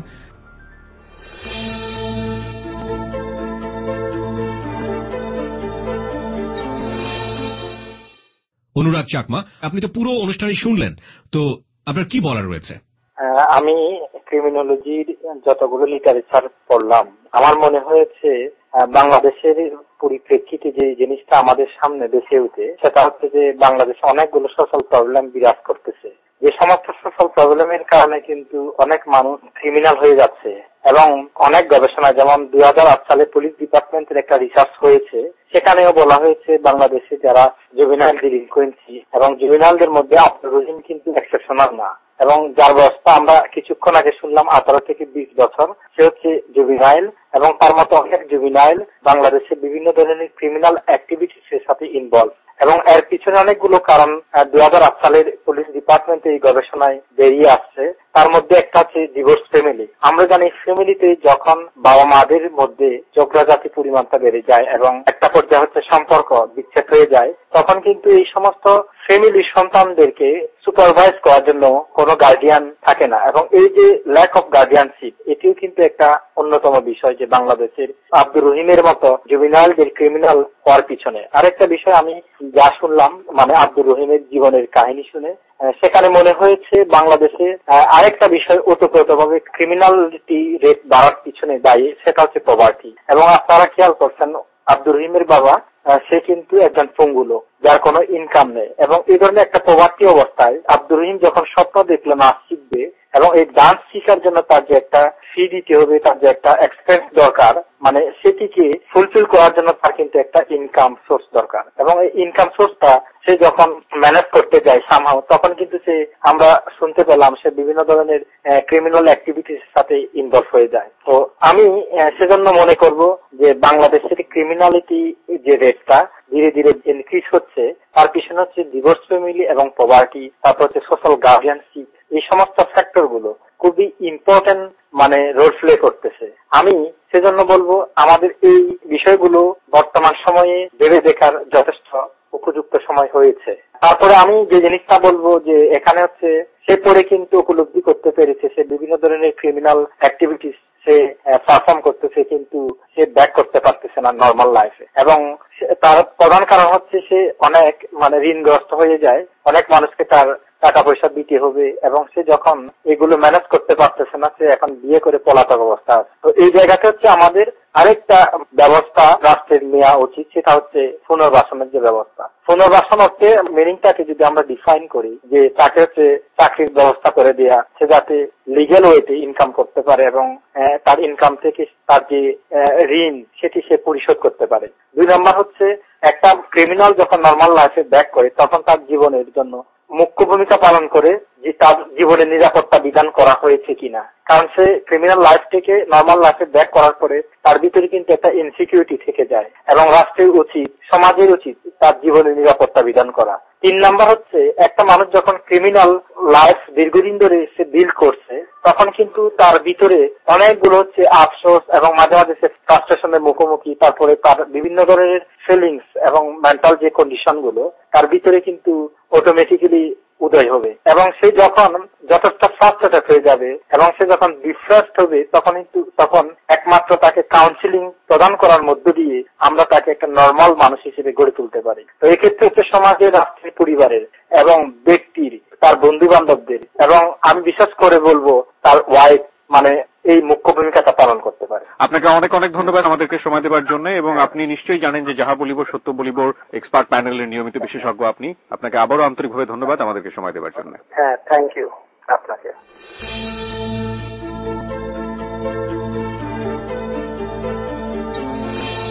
প্রিয় শ্রোতা আমরা শুভকামনা জানাচ্ছি প্রার্থনা করছি আমাদের এই বন্ধুটির জন্য রহিমের জন্য। সমাজেও ভালোভাবে বেঁচে থাকুক ওর জন্য একটা সম্ভাবনাময় ভবিষ্যৎ থাকুক আহ, ওপরওয়ালা সেই ব্যবস্থা ওকে করে দিক।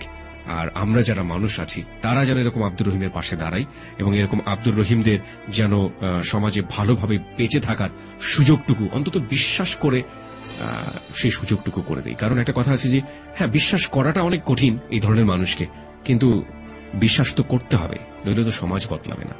এবং একজন আব্দুর রহিম খারাপ থাকা মানে কিন্তু শুধুমাত্র আব্দুর রহিম খারাপ থাকা না। আব্দুর রহিমের চারপাশ খারাপ থাকা, আর চারপাশ খারাপ থাকা মানে কিন্তু আমিও খারাপ থাকা। আমরা ফিরছি, ঠিক একটু পরেই আপনারা সবাই শুনছেন যাহা বলিব সত্য বলিব। যদি ওকে দেখতে চান, চলে আসতে পারেন আমাদের ফেসবুকে আমাদের ফেসবুকের ঠিকানা Facebook dot com slash ABC radio F M eighty nine point two ভুল শুদ্ধ মিলিয়েই মানুষ।